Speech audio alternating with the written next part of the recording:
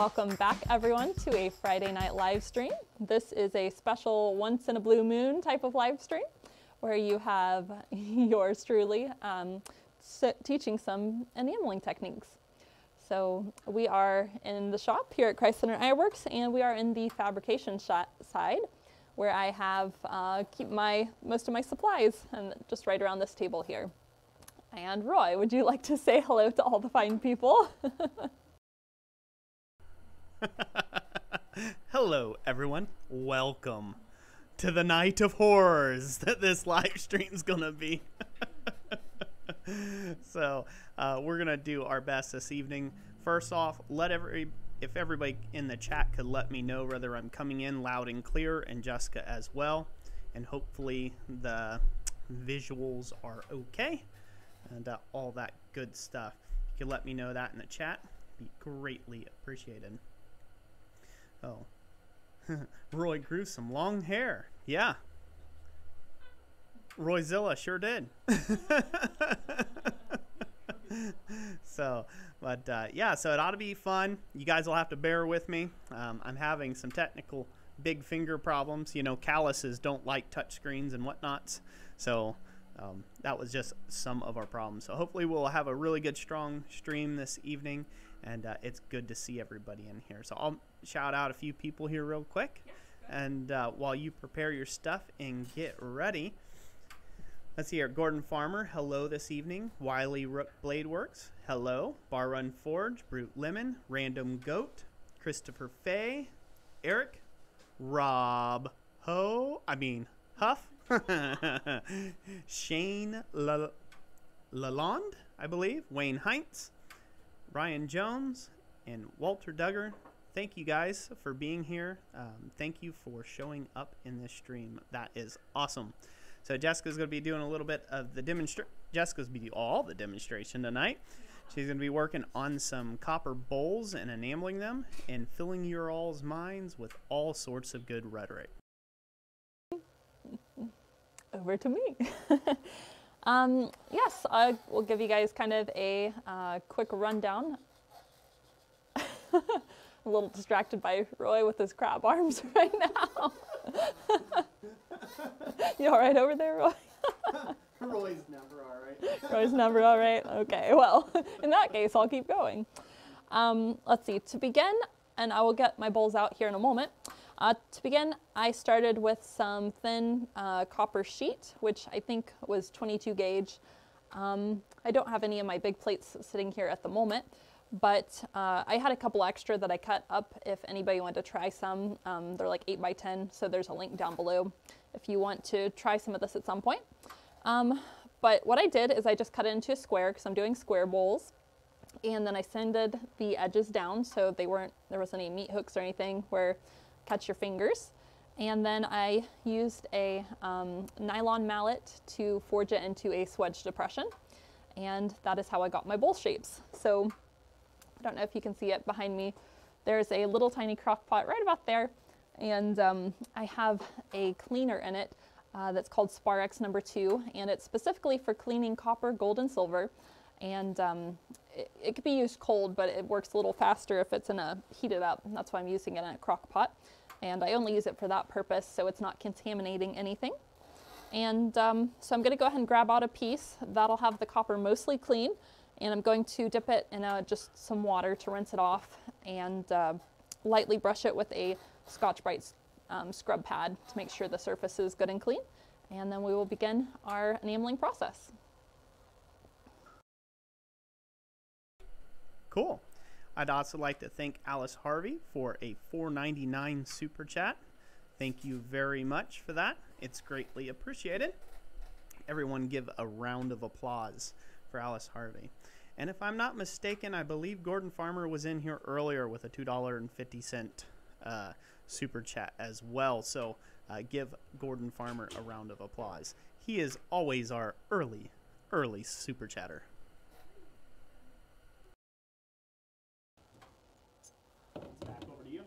All right. I am just double checking here, making sure the trivet I have out will be the right fit. Um, so again, just got this bed of green um, Scotch-Brite pad here. and removing any uh, residue. Sometimes when you clean copper, um, like in a pickling bath, it leaves kind of a, a little bit of oxide on the surface, but wipes off real easily. And so we just want to get that off. So there we go. I'll come back over here a little closer where you guys can see. So the enameling process, um, if you haven't watched any of my videos or our previous live stream back in February, the very first step in enameling is to put on the counter enamel, which is just basically references the backside of the piece that you're working with. Um, it's enameling the backside of it, so which isn't necessary for every piece, but if you're working with thin material, it is preferred. So this is what it currently looks like. Um, this is going to be the backside, and so it'll be, you know, set up like this. And so what I'm going to apply to make the enamel stick, since this is a domed piece, um, before when I was working with pendants, I didn't have to do this step, but I'm going to use um, what's called clear fire, and it's basically, it's kind of like a glue. Um, it's very viscous, so you use one part clear fire, one part distilled water, um, just to make a solution, and then you can paint it on or spray it on um, onto the piece. So for now, I'm just going to be painting it on. Real quick, just want to say thank you, Bar Run Forge over there, Troy. Uh, keep Roy's mug off screen and supporting Eli Buddy with a $3 super chat. Thank you, Troy. Um, and yeah, I can hide. I can close out my little window, and then all you guys got to see is pretty old Jessica. That works out pretty good. So, also, welcome to everyone who's just joining us. Granddad's Forge, hello. Yes, it did start, by the way. Good to have you here. All right, back over to me. All right, I think um, for this first piece, I'm gonna see, sometimes for counter, counter enamel, I just use a mix of colors that have gotten kind of, um, it's just like a mix of colors that were left over. So for this first layer, I'm just gonna use that. Uh, a lot of times I do two layers for counter enamel. So I just have a sheet of paper here that I'm gonna sift over, and that way I can reuse any enamel that's dropped. And I have a little sifter. Um, I think this is called a 60 uh, mesh sifter. I have a list of all the supplies I'm using down below if you're curious about learning more. Um, and I'm just using the medium sized one. I also have a large one, but I'm just going to use the medium for now. Is and it, is, it, is it possible to move that that you're going to be sifting over? back a little, sure. Over to where the copper bowl's at? Yes. Kind of everything that way so. Yes, thank you for reminding me about that. That'll be, that'll be much better. Okay. There, now you guys can see. So I'm getting, normally you want to get your sifter half to three quarters full. And then just because I left my piece sitting over here, I'm going to go ahead and touch it up one more time with the clear fire um, water mix, just because if any spots dry out on it, the enamel will kind of just um, drop off of them or go down and settle. So it won't necessarily stick all over. So here we are. And then to apply the enamel, I just tap the sifter or you can rub the stem. I just prefer tapping. And you want to get a nice even coat that is that you can't see any bare copper through.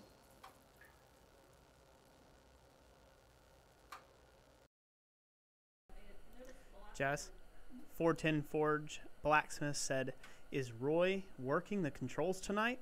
That's a switch. You go, Jess. Yes, uh, Roy is working the controls tonight. Um, I think it was February when we did our previous live stream like this, and so it was definitely a crash course for Roy. Um, as he, he, likes to joke about himself, I don't do big buttons, so um, he's getting to see kind of the back end of, well, he likes to call me Octopus Lady when I'm running all the controls, because um, there's definitely a lot to click on you have to click every time to switch mics, and then you have to click when you're reading the comments and all that. So there's lots of clicking involved. That's what you call me Clicky Fingers McGee. So mm-hmm. tonight you're Clicky Fingers McGee.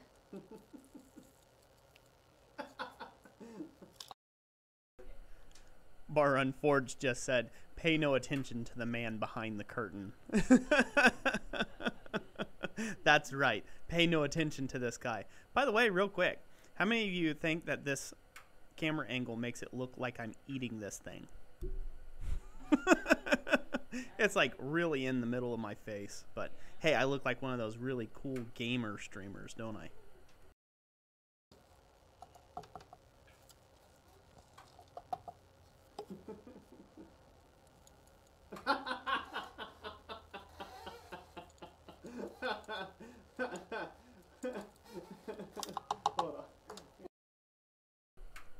Yes, Wayne Heinz, I can read. Barely, but I can read. it's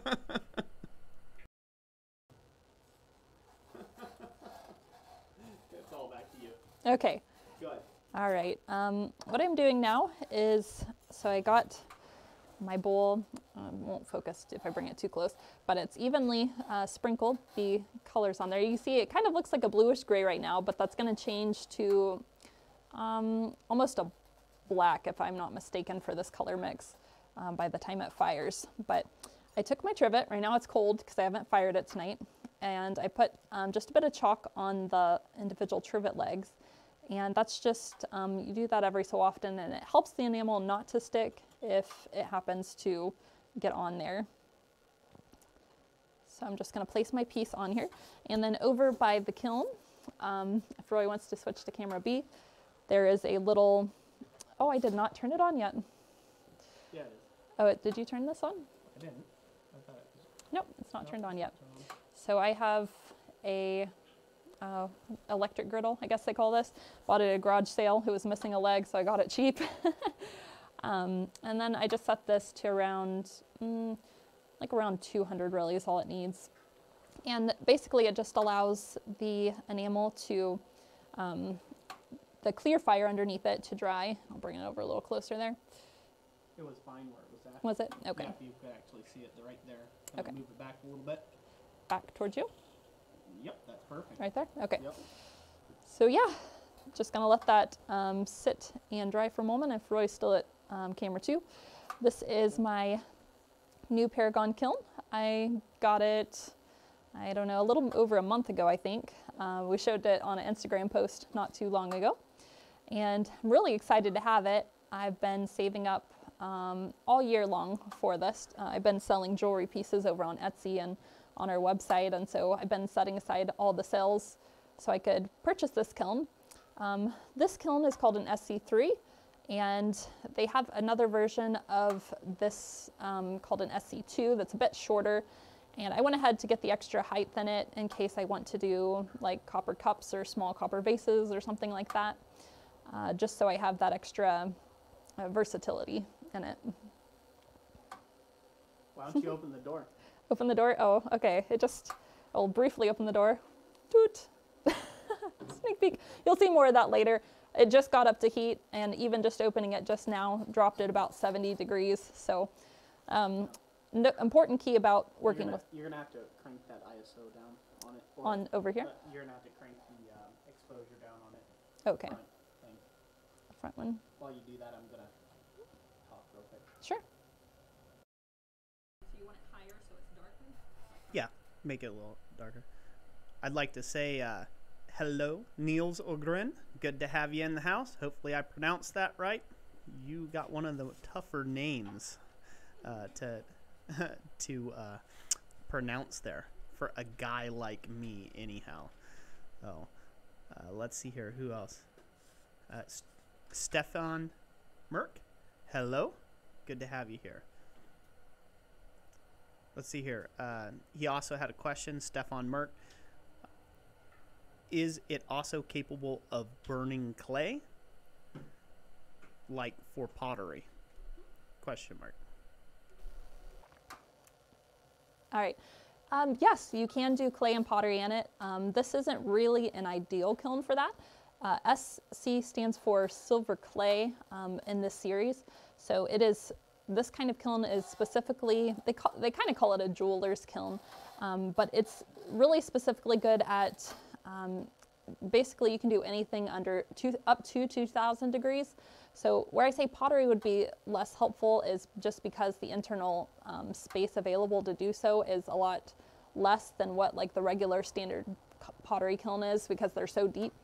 Um, also, Uh, like I said, you can do silver clay or any of the, um, you can do burnout in this. I believe they do, um, sometimes they'll use crucibles and things uh, for like lost wax casting. And in the top of it, there is like a ceramic plug, I think it is, and you can take it out when you're doing burnout of something so that it can vent fully. Have you enameled anything other than copper? Wonder Boy Projects asked. Sure. Um, yes, in one of my previous uh, actual videos I did a couple months ago, I actually did some enameling on steel. Um, these are just steel flower blanks, and I was kind of playing with it to see how it would work out. Um, the first set I did, it worked out good. The enamel stuck. Um, and then I tried another set of steel flower blanks, and I think the carbon content was a bit different in it. And I was having some chipping, so I was, I was kind of fighting the chipping a bit. Um, so what I what I ended up, I did some research, and I found there's a coating you can put on steel that is kind of an interme intermediary between the steel expansion rate and then the enamel expansion rate. So it's kind of like in between the two. So it allows you to um, enamel better on steel. Uh, of course, you want to do low carbon steel, and there's um, companies that sell, uh, especially specifically what's called enameling steel. It's just an extremely low carbon steel um, that has that closer expansion rate to the enamel. Got another question from Granddad's Forge that just came in. Said, "Is clear fire sticky?" Question mark, and then also followed by a question from Bar Run Forge for the uneducated, aka me. What is the purpose of enameling other than color? Okay. All right. Um, the first question from Granddads is clear fire sticky? Um, it's not. It's not sticky like uh, like a super glue or anything like that. It's not like that. More or less, it's just um, it's kind of like stringy. Uh, like I said, viscous. Like it's very like it has just a thicker consistency to it. Um, versus if you use straight water, basically what happens is the water um, doesn't want to spread evenly. It just forms little droplets on the surface. And so when you spritz it with enamel or put your enamel on there, um, it just wants to stick to just where those droplets of water have formed. So that's why you use the clear water, clear fire as an additive. Um, it's not necessary on flat pieces, like I said, and there's also a few other um, alternatives you can use. I, I'm not sure, I think I may have seen that someone's tried in the enameling forums, they've tried just like Elmer's glue before, but they said that it kind of has a nasty burn off smell, so that's less preferable. Um, so yeah, that answers um, that question, I think. But anything that's 3D, you know, three-dimensional, you want to use the clear fire on. Uh, the purpose for enameling besides color. Um, the main purpose is for decoration. I haven't gone super deep into the history of enameling. Uh, I know in some cases it was used to perhaps make a surface um, maybe food safe that maybe otherwise wasn't, or maybe to like say if maybe if enameling was originally done on steel, um, the enameled surface wouldn't rust like steel the steel would. So maybe a way of protecting it.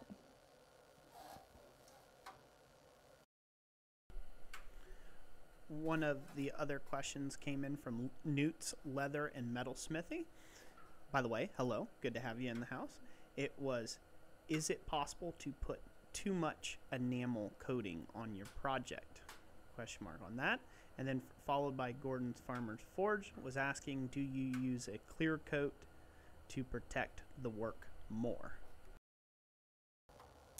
Um, so the first question, can you put too much enamel on? Yes, you can. Uh, what will happen is if you put too much enamel is the enamel can actually run. Um, this will, with shallow pieces, kind of what I'm, what I'm working on, it wouldn't necessarily cause a visible uh, issue. If you were doing something like really steep like a vase or something, um, the enamel would actually probably run a little bit towards the bottom of the base, base um, and it might actually like pool right at the very rim of it. And I've had that happen on one of my projects before because I just had a lot of layers of enamel. Not that I over applied the enamel, it's just a bunch of layers. And I was firing it at extended heat to try to get a certain effect. And so it did, um, like it does run and kind of pool a little bit, um, but it does it on a small scale. It's not like like super runny and super dripping. It'll just kind of gather in a place. And then what was the other question? Do you use clear coat to, to Clear protect the work more? Okay. Um, no, clear coat's not not necessary.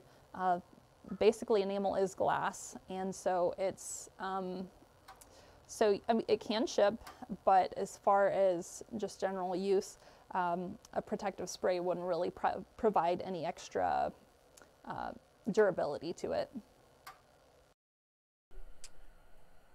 Next question we've got the Speedy Mex commented is all enamel food safe question mark and then that is followed up by a question from 410 Forge Blacksmith I've seen a ton of enameled ladles, spoons, etc. in antique stores. Could you enamel some of Roy's ironwork?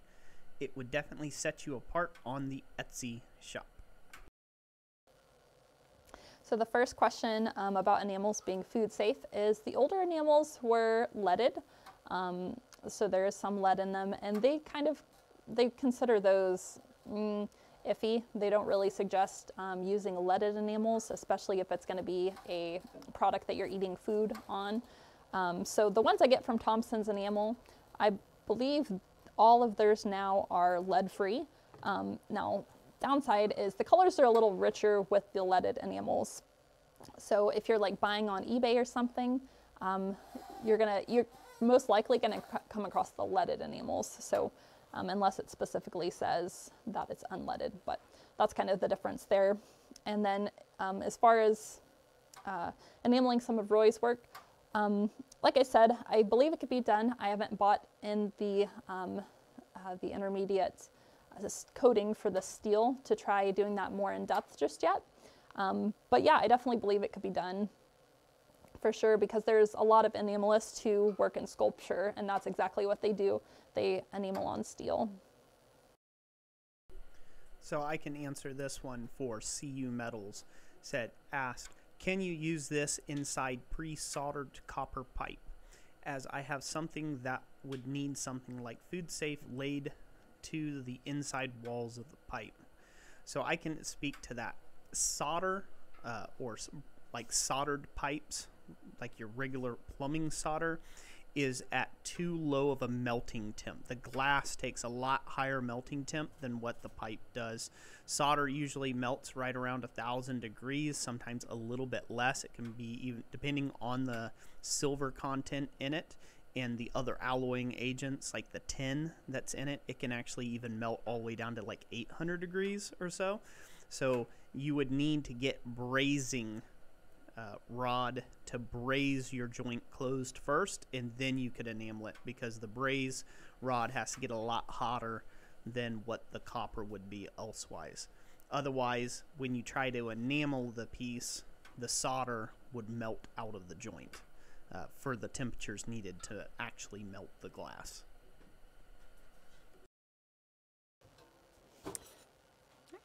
When you reach a good um, spot in the comments, we'll go ahead and go over to um, the kiln. There. All right. So what I have is, I think this is called a firing fork. Um, basically, we just adapted a marshmallow roaster, and I'm going to use this to lift my um, tray, uh, metal metal mesh tray here, and just set the whole piece in. Gonna try not to drop it. And the faster you can do that, the better. Um, this dropped my kiln significantly. It being a small kiln like it is, it dropped at about not quite 200 degrees, but right now it's sitting at about um, 1300 degrees, so it's got to climb back up. And ideally, um, 1450. Uh, you can do it down in the 13. You can enamel in the 1300 degree range. Um, just takes a little slower, and sometimes you'll get a little different effects with the enamel with it. So, and um, I special ordered my kiln to have a uh, this glass window you see here. Um, that's it only costs like 30 extra bucks because I ordered mine brand new and they had it as an option. Uh, they also have things with kiln. Um, some of the other doors have like uh, like little lift up doors for people who do um, glass bead making and stuff. But the window allows me to look in there without having to open the door and see what color my enamel is. So it's, it's going to basically turn to a orange. And it's just beeping now to tell me that um, it's dropped to a low temperature. And so it'll beep for a little bit until it gets back within uh, its range, which I think is about 100, 100 degree range. Um, beeps until it reaches that point.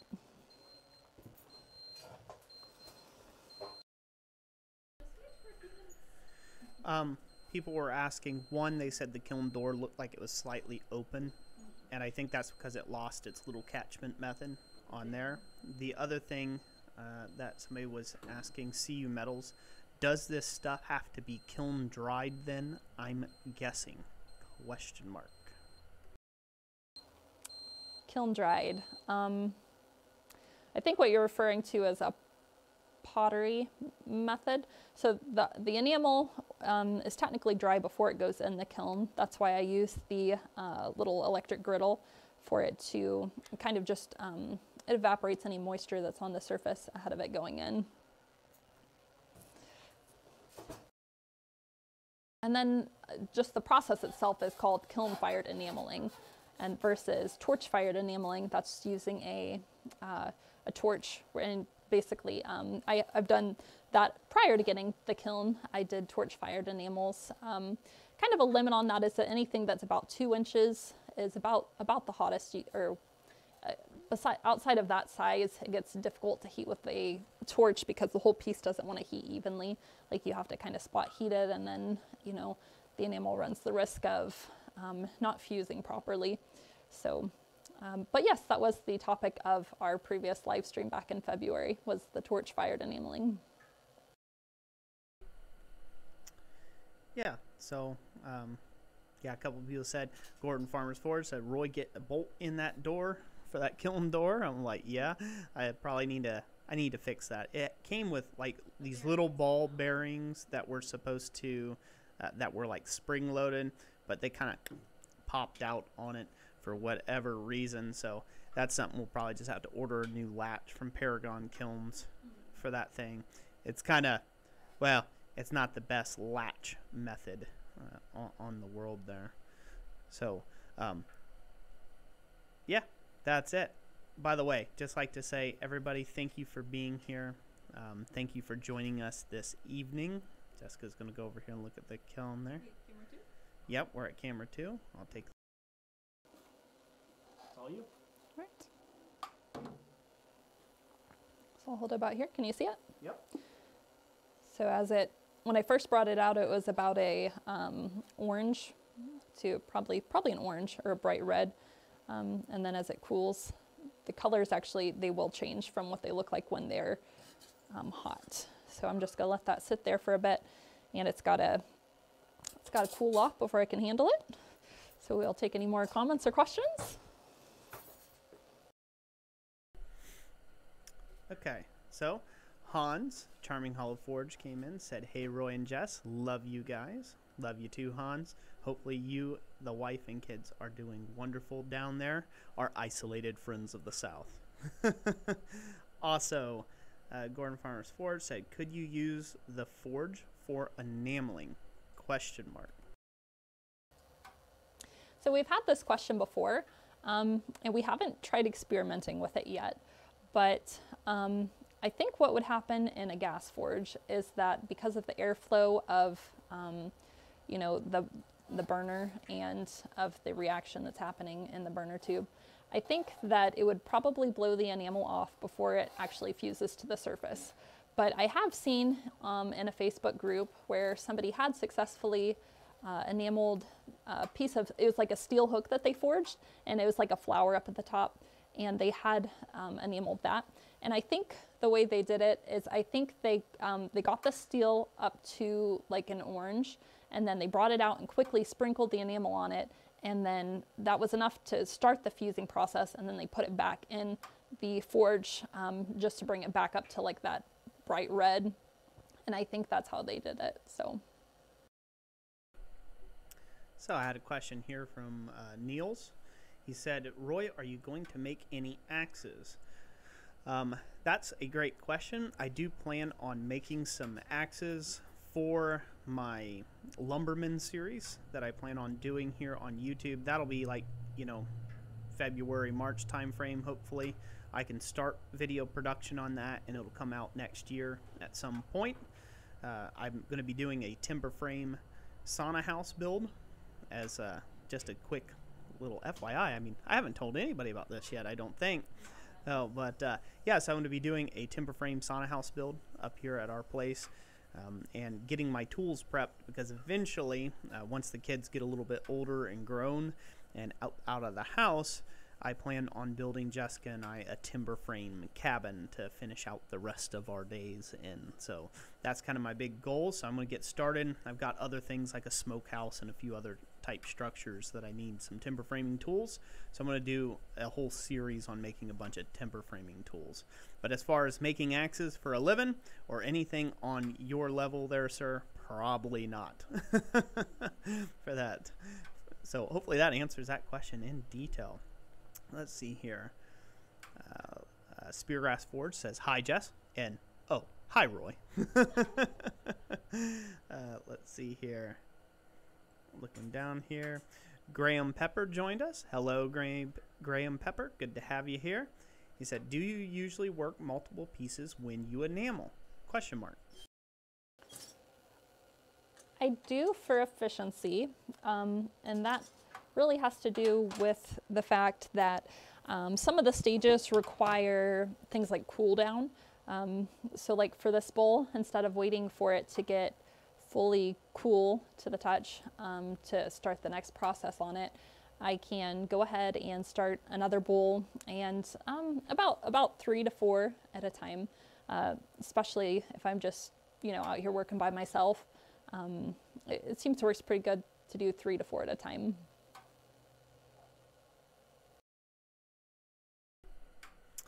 All right, let's see here.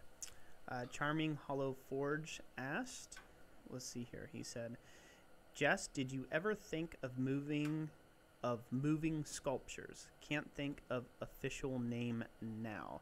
And I do believe he means kinetic sculptures. Um, I haven't personally thought of doing a kinetic sculpture. Sculpture. I mean, I've seen them and they are really cool. Um, I do have a few sculptural pieces that I would like to do. I have uh, like a note, big notebook of ideas, and I, I don't know, I probably have like 100 different ideas in there. Um, one of the things I would like to do would be like some little copper houses. So you kind of see them sometimes out of wood, uh, but I'd like to do some some of those. Um, trying to think of, oh, I would also like to do kind of like some floral related sculptures, um, maybe a little less 3D than what blacksmiths do where it's kind of viewable on every side and maybe more a bit um, like two dimensional or like meant for like on the wall. So I've kind of thought about that, individ in, like enameling individual elements and then um, putting them together on some sort of sculpture.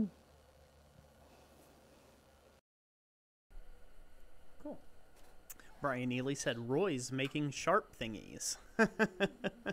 nope, not making sharp thingies. Well, I guess they are sharp, but they're not sharp, flat, and pointy thingies. That's the important part. um, let's see here. What else do we have here? Randy at Newt's Leather and Metalsmith. He said, Ooh, a thought. Oh, it's Hans. He's talking to Hans. Uh, let's hear. Chad Cords, hello, good evening. Said so weird with Jess out front and Roy behind the scenes. LOL. and then Alice Harvey said like a tiara. I don't know what that means. I'm not staying up with the chat very well. Roy sucks at doing this. I really do. Fine. It's back over you. Okay. Tell them what I'm doing. All right. Um, getting started on my second bowl, and I put the clear fire on there. And the back of this one, I am doing uh, grass green. So it's an opaque, kind of like a bright green.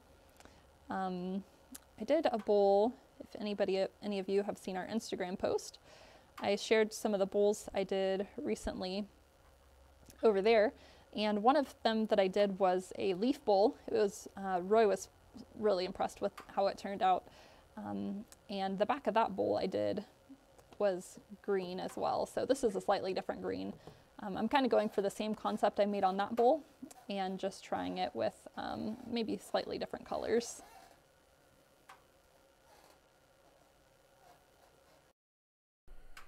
I am all out of coffee. That is not good at all.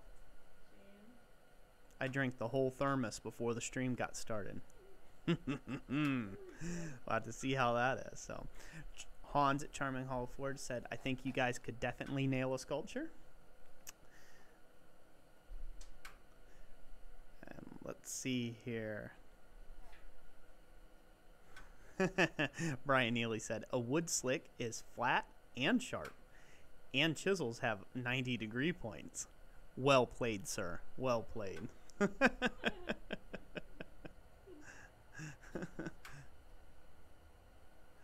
John Lavender, yep, a little different live stream. He said, Cool beans, hope all are well. Well, John, I hope you're doing all right.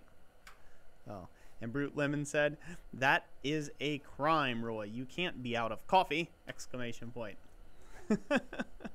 also, hey, we just got a $25 super chat from Rob Huff. Said, charity super chat for Roy. A for effort. but don't quit your day job. Need more Jessica streams, though. Everyone give him a round of applause. Roy is doing quite well. I am I'm proud of him. the stream hasn't crashed yet, so um, Island Metal Forge in with a dollar forty nine super chat. was it a super sticker? It's up. Thank you, Yamez, for the mustache. Gosh. All right, go over to camera two. On your mic. Doot, doot, doot. Okay, there we go. It's just shaking off the scale. As you'll see, copper, um, copper scales up too, obviously, and it does Up a a, little bit. up here. Up a little bit. There we go. Copper scales up too, so I'm gonna have to clean this off. But here is the final coloring of this layer, and I actually got it pretty good and even, so I'll have to think about whether I wanna do one more coat on there or not. But meanwhile, I am getting my second bowl over here. I'm gonna grab my chalk real quick and chalk it up a bit. Might as well probably leave this over here. Um, this trivet could still be hot, so I'm going to try to avoid touching it with my fingers. And I really need to make about um, probably three, have three of these little trivets. Be good, but I'm just putting this on the griddle to, to dry out the moisture. And check, checking it before I do a Roy, burn my fingers. All right, so most of this can just brush off, just like this. All right. I don't want to contaminate my enamel though. I'll scoot back a little. Um, so instead of putting this in the um, bath, I think what I'm gonna do is I'm just gonna go ahead and do a second coat directly on top of this. So I don't really need to clean the front right now thoroughly. I'm just going to use um, one of my dry green um, whatever these things are called, little scrub brush, scrub pad. I'm just gonna kind of wipe wipe the surface down gently. It's just gonna knock the rest of the loose scale off, and that's really all I need. Is just because I don't want it um, to fall into the enamel when I'm sprinkling the enamel on, because then I would get little black specks in there, and that's preferable not to do that. So that's just kind of the purpose between cleaning cleaning the bowls between or any of the projects um, between layers as until both sides are covered anyway. So, uh, kind of answered some of these. Say, so are we in Speargrass Forge? So are we in Jessica's enameling room in the barn, or have you not made Jessica's workshop yet, Roy? No, we're actually in the corner of the metal shop for the what I like to call the modern shop, where I do all my welding and fabricating. She's got her own little Jessica's corner that she has carved her nice little niche out there for. Um, and that's what you're seeing there. Actually, just behind her there, um, over her shoulder, is the door that leads out to the uh, forging shop. Yep, right behind her there. And then Newt, Randy at Newt's Leathersmithy said, Uh, she needs two more rivets. Roy, you know what you have to do. LOL. uh, two more trivets. Sorry. Yeah. He, spelled it rivets, but he meant trivets. uh, let's see here. Michael Hunt said, I really enjoy watching you do this work. It is very interesting. and then another one. Burnaby Sanchez says, Can you enamel teeth? My dentist charges too much. I, um, yeah, I have no idea what uh, what kind of binder you would have to add to enamel a tooth, but yes, that would be very interesting. I don't think you would want the 1500 degree torch in your mouth though. That probably wouldn't be too comfortable. I'll enamel them for you. No problem. Just you gotta sign a waiver before I do.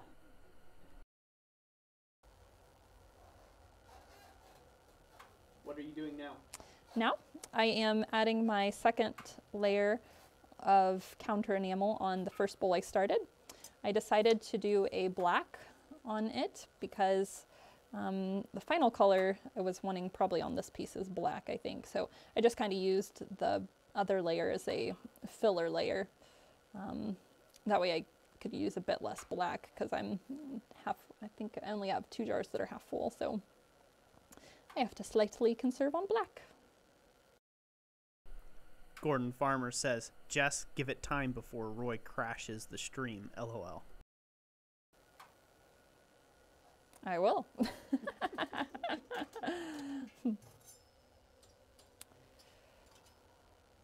so Stephen Watkins coming in with a $5 super chat said, Sorry I'm late. This darn day job gets in the way. So, hi from Minion Smithy. Hello, Stephen Watkins. Good to have you in the house. Thank you for being here. Thank you, Ryan Jones. Boar, Boar, welcome. And everyone who has shown up. Burnaby Sanchez, I didn't say hello and welcome to you as well. So, good to have everybody in the house this evening. And, uh, thank you to all of the channel members for all your great support and showing up. Those those are those funny looking people with the little anvil badges right next to their names. thank thank you, you funny looking little little people. I don't know what I'm saying. I'm sad. I'm sad I'm out of coffee. blame it on the coffee. it's the coffee's fault. So, see, probably to do this part, I'll take the gloves off. Otherwise, I might be clumsy.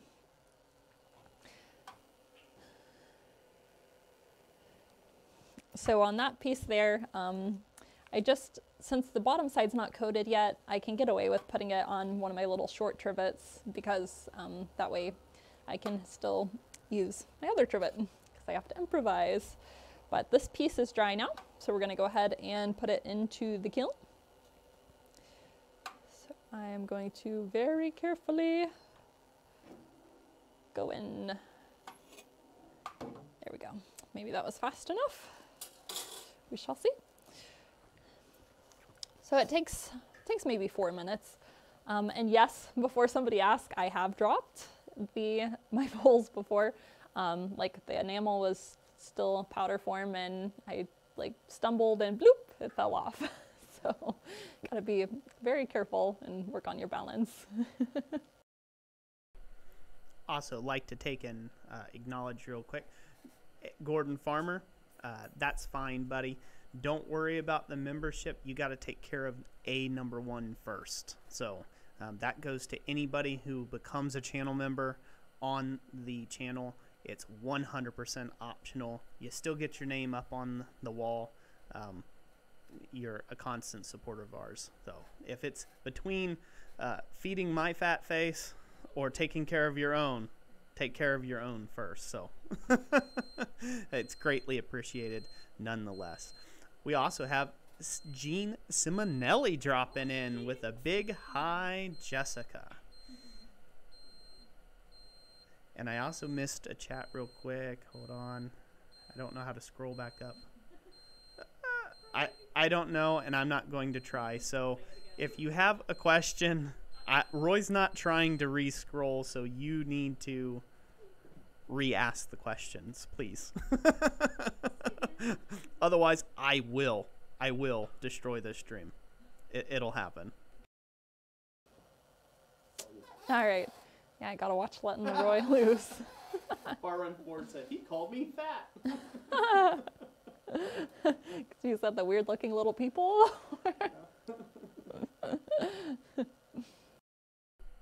Wonder Boy Projects asked, on average, how many colors do you put on them? Question mark.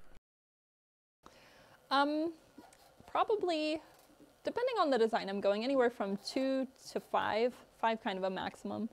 Um, I mean, you could go for more. It just uh, depends the effect you're going for. So, like if you want kind of like a rainbow effect, you could put on a base color or a white, and then you could just use the sifter. I mean, I even have a tiny sifter here. It's like a little thimble, basically. Or you can even get what's called a line sifter, and it basically just um, it's just a little bit bigger than like the head of a pen, and you can just put dots on, you know. But I mean, yeah, it's it's basically limitless. It could be as many colors as you want. Um, right now, I have I think about 20 colors, and I would like to get all of the colors. Sorry, I have to cut you off, Jess. Neil, Graham, thank you for the $5 super chat. Brian Howman, thank you for the $2 super chat. A little coffee money from Howman Forge. Thank you all very much. And Gene Simonelli said, I can scroll for you, Roy. Question was, do you ever get the itch? Uh, it came in from Alice Harvey, I believe. Do you ever get the itch to enamel silver? That's a good question. Let me grab this out real quick and I'll answer it. That way I don't overfire. Make sure Roy's at camera two. We're there, finally. Okay, all right, finally. There we are. Very cool. Kind of has a really cool speckly effect. We'll see how that looks when it's cooled off all the way. Oh, that's right, that is the green. So it'll get a second coat. So do I want to enamel on silver? Well, first, I haven't ever worked with silver. Um, but secondly, uh, they sell what's called um, silver foil, and frequently people who enamel will use it uh, in their designs because it brings more, it's brighter, um, brings, it allows, especially if you're working with transparent or see-through enamels, um, you can see them a lot better on silver foil or just silver in general. But yeah, I've been thinking about getting some silver foil and playing with it. I think um, it's called silver leaf, I think is basically what it is. And it's like, I think $36 for um, like a six by six sheet or something like that. Welcome, Gene Simonelli, to the Bellows Boy tier. Thank you, sir, for becoming a channel member. Greatly appreciate you. You're also very welcome, Alice Harvey. And let's see here. Uh, da, da, da. I think that's good. And thank you, everyone, for all the hand claps. I greatly appreciate that. That is awesome. Good to have everyone. Oh, also, CU Metals asks, where do you get the colors and what are they called? Um, so I get, I mean, you can buy enamels all, all sorts of different places. Um, the ones I have mostly are from Thompson Enamels. Those will be the ones in the white. Um, and those are just, they're based out of Kentucky. Um, and they have very high quality enamels. And I think a jar like this on average will run around $10, um, but it kind of varies per color. Some colors, um, the additives that were used to make a certain color are more expensive, so that's why sometimes the price will range on them. The place I get them is um, Pearly Carpel on Etsy. Uh, her enamels are cheaper. I, they seem to react a little differently. Um, the grains themselves seem a little bit bigger, the ones coming from Carly, Pearly Carpel. Uh, she's based out of Israel. She'll ship anywhere. Um, I think it's free shipping over $35 on her orders. And a jar like this, I think was like $5. So it's about, it's about half price um, to go with enamels from her. But um, some of the, I think the expansion rate with hers is a little different as well. So um, just kind of if you're going for the highest quality, that would be Thompson's. But if you're just like trying to play around with some uh, to get started, like Pearlies are perfectly perfectly good. And I'm using her color actually. Uh, the grass green, that's what I'm using on the back of the bowl currently, that um, the second bowl I just started. Had a couple questions bypass, so they'll have to ask them again. Um, let's see here. Uh, what was it? Da, da, da. Looking, looking, looking. I just missed it. Uh, Wonderboy Project says, "Do you plan on selling the enamel?" Question mark. And also Chris Johnson, hello. How about enameling some forged poppies to auction off to support your local veterans? Question mark. So let's see, do I plan on selling enamels? Um, I don't plan on being an enamel distributor just because um, I'm not really necessarily interested in buying in bulk and then like repackaging it. Um, so, yeah, I mean, they're, they're reasonable enough to, to buy those. And there's, like I said, there's so many colors. There's like 150, do- 150 different colors just from Thompson. Um, and that's like the medium expansion um, enamels for, for copper, silver, and gold. And so, uh, again, I don't I don't think I'd be I'll be sell or will be selling them through our website. Right now, I'm just trying to build up my my own supply a little bit at a time. And the second question about the poppies, um, I, I have wanted to try forging and enameling poppies, so that very well may be something uh, we'll do at some point. And especially with the plasma cutter, um, we'll be able to do some. I'll be able to design some of my own designs. So yeah, that might be something that'll happen. So uh, we just had Randy at Newt's Leather Smithy become welcome to the Bellows Boy tier. Thank you for becoming a member, good sir. We greatly appreciate it. Make sure everybody gives him a hand clap. Also, CU Metal says, uh, see here. Thanks, Jess and Roy. You're doing a stir a sterling job, sir. Don't much on the mic, thinking it's coffee. Haha. uh, also, Gordon Farmer's Forge asked, "Is there an metallic flake enamel?" Question mark. And Bar Run Forge asks, "Is there a way to mask a piece so the enamel only adheres to specific areas?" Okay, um, let's see. The first one was uh, metallic enamel. There um, is, they don't call, they, they call it something different. Um, and there's also an additive, you can take like mica flakes and um, you can use those. Basically, you sprinkle them on and um, you fire the piece a little longer and some of the mica will sink in. Some of it'll wash off afterwards, so that's why you fire it a little longer and you put it on a little heavy. But yeah, mica flakes, they come in all different colors, like gold, silver, bronze, um, and rainbow of colors as well. Uh, oh, I did remember, um, they, they have, um, I think they call it opalescent um, enamel, and it is, it does have a very metallic look to it. And then the other question about masking, yes, you can mask. Um, you'd basically, you could use like a painter's masking tape. I've seen this in an enameling book, and you could uh, mask part of it off and then, you know, apply your enamel and then gently remove the, the masking tape portion of it. Or, you know, there's another method of where you just apply your enamel and it's called sgraffito and you use a, um, you could use a paintbrush or a pen or just like a sh- sharpened wooden stick and then you can remove the enamel while it's still, um, while the clear fire still wet and you can doodle a design basically into it uh, and it leaves, leaves that effect. Let's see here. Uh, Chad Cord said, "Sorry guys, got to head out. Enjoyed what I was able to watch. Just keep up the awesome work." Brett Larson said, "Hi friends. Hello, Brett Larson. Everyone's giving clappy hands for the new membership. Sorry, Randy. Jessica was on a Jessica jaunt there. I wasn't able to comment where to find that join button, uh, but thank you for doing that. And also, while Gene Simonelli's in the chat, uh, I'd like to invite you down. The next time I'm down uh, in Ohio, I'll be actually at the Goshen Blacksmithing Club, taking and forging some skillets, doing a class on skillets. You should come down and see me, sir, if you're in the area. Happen to be, anyhow. That's just uh, northeast, I believe, of Cincinnati. They're in Goshen, Ohio.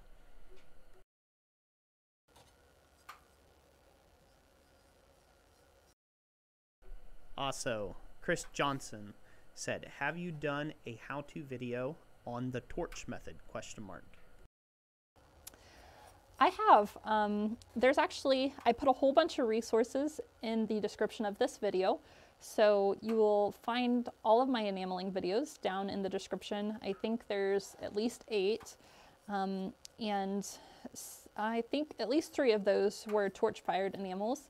Uh, the first one I ever did for the channel at our house, um, and I, I called, labeled it trying um, torch fired enameling. So that's definitely down in that list below.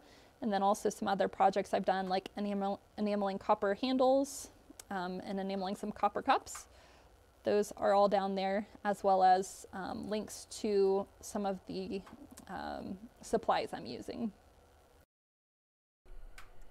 Brett Larson. Oh, at Christ Centered Ironworks. Speaking of skillets, I got the skillet blank you sent. Thanks again. Brett, you're more than welcome. Thank you for getting picking that up there, uh, or getting it. Uh, yeah, I've got a bunch of those skillet blanks um, still sitting on the website. We'll see if we'll see if they end up selling or not. Uh, but at anyways, we're gonna be making up quite a few of them at the Goshen Blacksmith uh, Club there down in southern Ohio. So that's going to be a good thing, and uh, looking forward to teaching that class. Um, it ought to be pretty fun. We'll see how many people come across the skillet blanks. Also, speaking of skillets, I will have some videos coming out on that very soon. Uh, I've been a little bit on, like, overwhelmed with the amount of work that I've got going on currently here in the shop. I actually just quoted, sold, and quoted and sold a three foot diameter copper bird bath um, water feature that I need to forge, and I have to have it done before I head down towards the tail end of November. So uh, I've, I've got to work on that. Heath Miller with a $5 super chat, by the way. A few dollars for the enamel stock for Jess. Keep up the great work. Thumbs up. Thank you, Heath, for that. All right. So this is my third bowl. I just went ahead and did the back of it. I am using a lead-free uh, opaque um, enamel. This one's called Coffee, and that one's from Pearly um, Carpel. It's kind of like a medium brown, perfect for Roy, right? the coffee-colored enamel. And so I'm gonna go set this over on the drying rack now. And my um, next bowl is ready to go in the kiln. So I will go ahead and move over to camera two, Roy.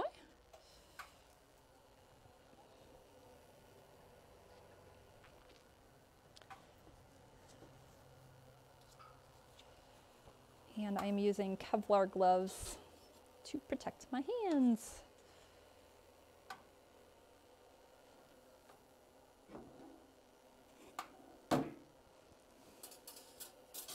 So this green one now should be cool. Double check in there. So it's got the scale on there. Um, and then you can see it's kind of patchy. There's kind of areas here where it didn't, over this way. It's a little patchy, so I'm gonna go ahead and do a secondary coat.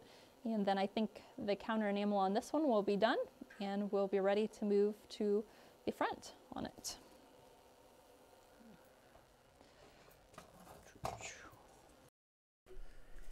Yeah, so um, let's hear. Steve Watkins uh, said, "Ooh, ooh, I got the one I won. Can't wait for your video."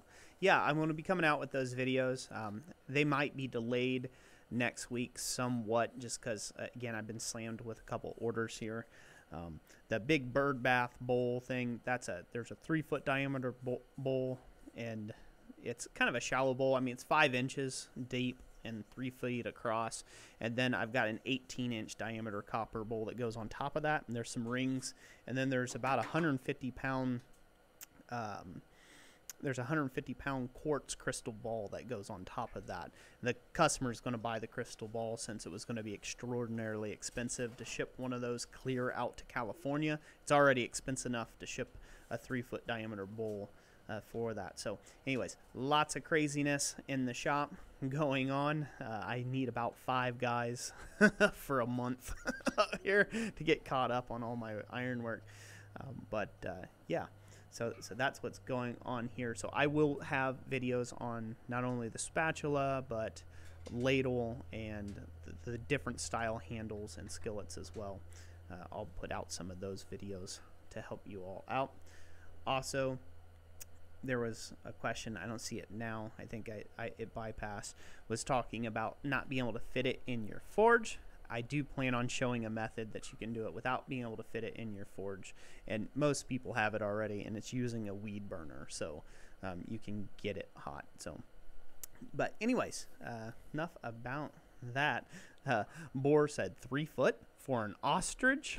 It's a bird bath for an ostrich. So Hopefully, I didn't miss anybody. If somebody did a super chat, I see some clappy hands up there. Brute Lemon said, I'm back, everyone. What did I miss? Steve Watkins said, Yikes. Brett Larson. Brett Larson said, "Man, if I lived closer, I'd volunteer as tribute to come help, come and help." yeah. Randy Newt Leathersmith, Randy Newt Leathersmithing said, um, "No, I'm not coming back to Michigan. It's not happening." oh wow, are you going to the Anvil or or to the thing camp? Okay, you just putting it there to dry. All right. Yep, I need one of them free apprentices. That's okay with living out in the barn and Arctic temperatures with Milk Dud. Milk Dud doesn't mind an occasional cuddle.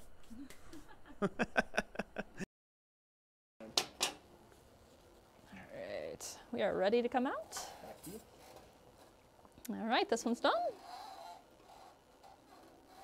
There we go. This is the black coat over the mixed color coat. so it's cooling off there.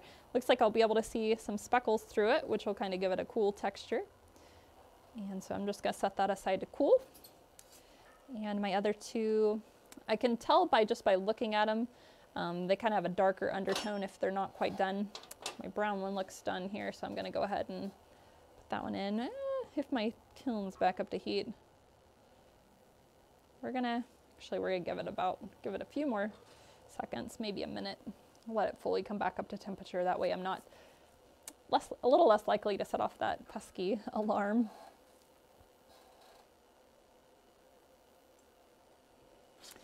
One thing you have to keep in mind too when you're doing enamel is you want to keep the scale away from your work, especially when it's hot.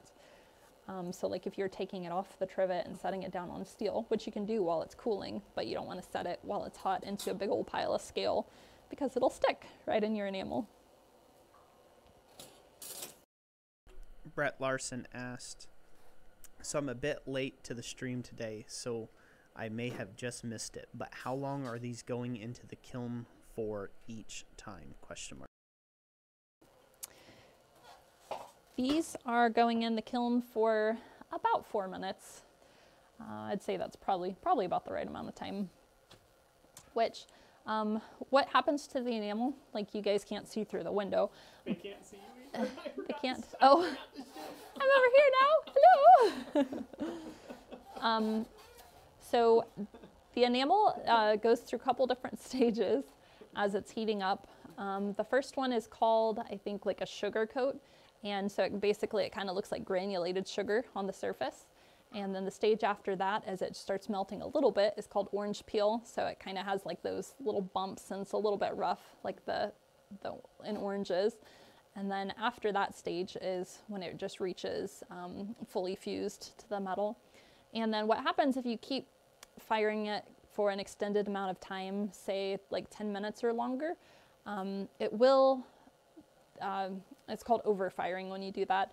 The enamel does pull away from the edges a bit and you'll kind of get um, like some black, like a little bit of black edging just where the bowls, like the bowl meets the edge. And you also sometimes get that if you put the enamel on too thin. Um, just what's happened is the copper, especially copper because it's reactive a bit with the colors sometimes, is if the copper's, um, the enamel's too thin, it'll change the color of the copper. Did I say that right? It'll change the color of the enamel in that spot where the enamel's been applied thinner. Let's see here. CU Metal says, Pay for the flight and passport, Roy. I'm yours for however long you need me, sir. Get trained by the best I know and see. I don't know. Having to be around me 24/7, that can take its toll on people. Just look at Jessica. She's got nothing to say all the time.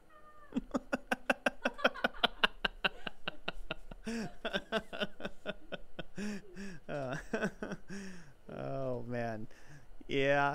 No, it's it's actually quite interesting. Um, I'll talk for a second if you don't mind, Jess. Do you need me to go over to the thing?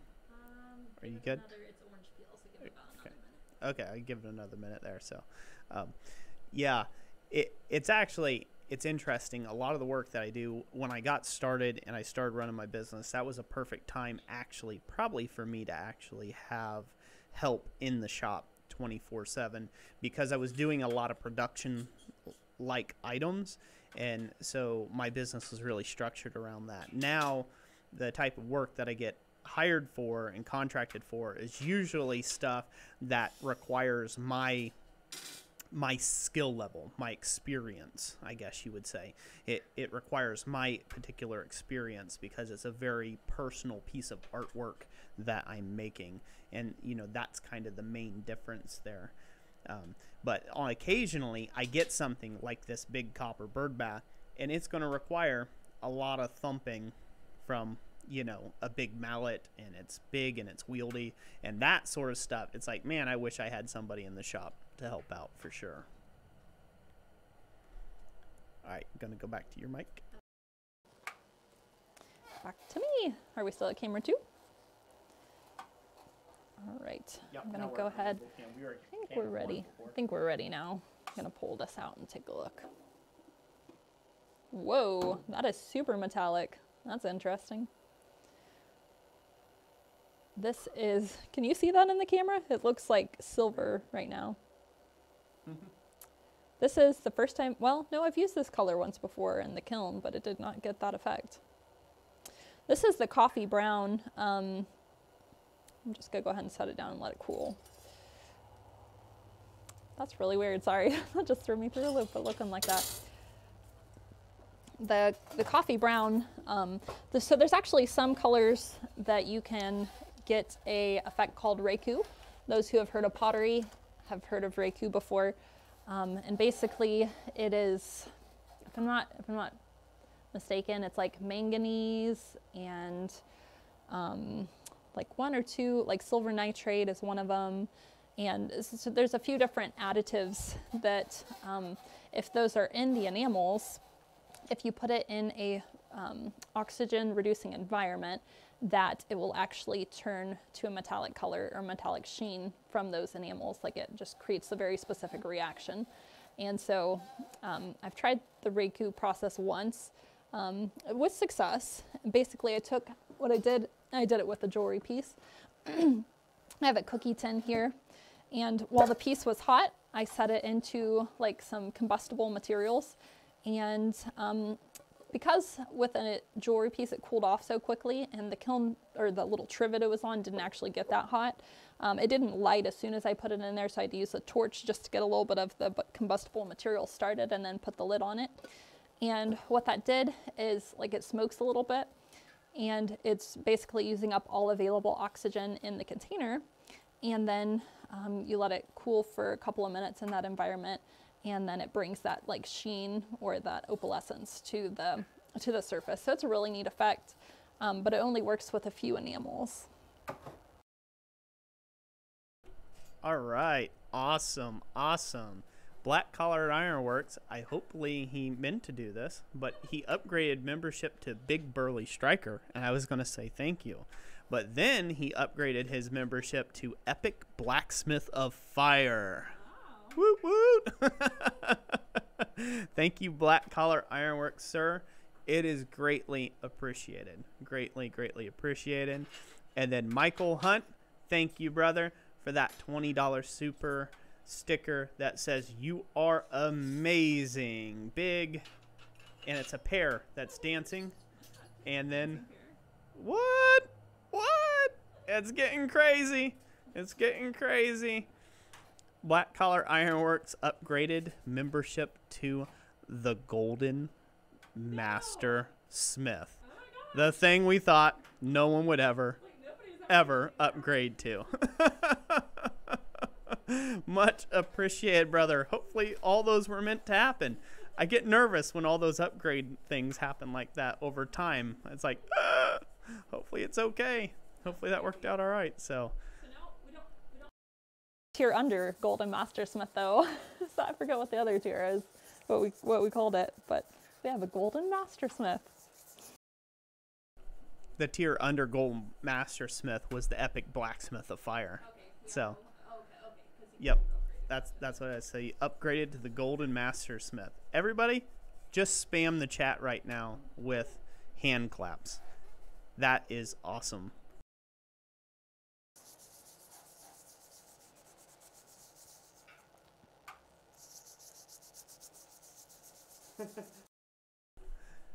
Said Brett Larson said, "LOL. If you put it out there, someone will do it. It's like a big red button. LOL." well, I hope there's all sorts of people hit the big red button then. oh, that that is awesome. Thank you, thank you all so much. That is awesome. Oh, thank you guys for the support. You know we'll put it to good use, and uh, it is really, really greatly appreciated. Can't say that enough. Plus, I hope there's. I hope we've made the perks good enough there. Um, Make sure to use the free downloads. Like you get everything for free on the down. you gotta give me a second. Oh, sorry, I jumped ahead. Roy, Roy's not that fast. Um, I was gonna say, yeah, as Golden Master Smith, make sure you take advantage of the free downloads. All of the downloads are free, including the ebooks. So get those. Like, um, especially the blacksmith cheat sheet. You definitely want that one because that's 50 different hand forged projects that um, you can make and sell if you have like a um, from a beginner to intermediate level uh, forging expertise. And then the other one um, is the great, or no, what do we call that one? The Christmas, hand forged Christmas gifts. That one's a really good one for this time of year. yeah so hopefully that hopefully that works out real well for people um, that way. I know it's uh, i don't feel like it's enough like but i try to give back as much as i can and give as much to the community as we can um, and hopefully that is enough. And apparently it must be for you all to support us on that level. So so thank you all so much for that. And it's really great by the way seeing everybody taking advantage of their custom emojis and uh, hitting those up. So that's awesome Michael Hunt said, I enjoy supporting others who are out there sharing the wealth of knowledge and helping to educate others and sharing their joy with all of us. Well, Michael Hunt, that is my pleasure, sir. I love I love doing that, and uh, I hope to continue to do that for many, many, many a years into the future. So, thank you all very, very, very much. So, uh, Newt's Leather and Metalsmithy. What are the perks for my level? And I do believe you are the Bellows Boy tier. I believe there's. I'll let Jessica answer that. Passing the buck. yes, all right. Um, let's see, for the Bellows Boy, there is, I believe it's 10% off any digital download and 10% off um, any blanks, like any of the blanks that Roy's cutting on the plasma cutter. I might be, mistaken, it might be 15%, I'm not sure, 10 to 15. If you, if you press, if you're, if you go, if you're curious um, what your perks are and you haven't been able to figure out where they are, um, what you do is you go like you're going to our channel, Christ Centered Ironworks channel, and there will be a tab up at the top that says membership, like next to like home videos, um, community, and then like next to community it says membership. And if you click that, um, it'll have you know not only our members only post, um, and it'll also have your coupon code. If you scroll back towards uh, the beginning of the month, we posted all of the monthly coupon codes there. So. Old Wolf, good to have you in the house. Said Happy Halloween. And let's see here. How can you know I was here? Three exclamation points. I'm lurking. You're not lurking very well there, Black Collar Ironworks. not lurking very well. when you drop some awesome membership things like that. Thank you for being a golden master smith.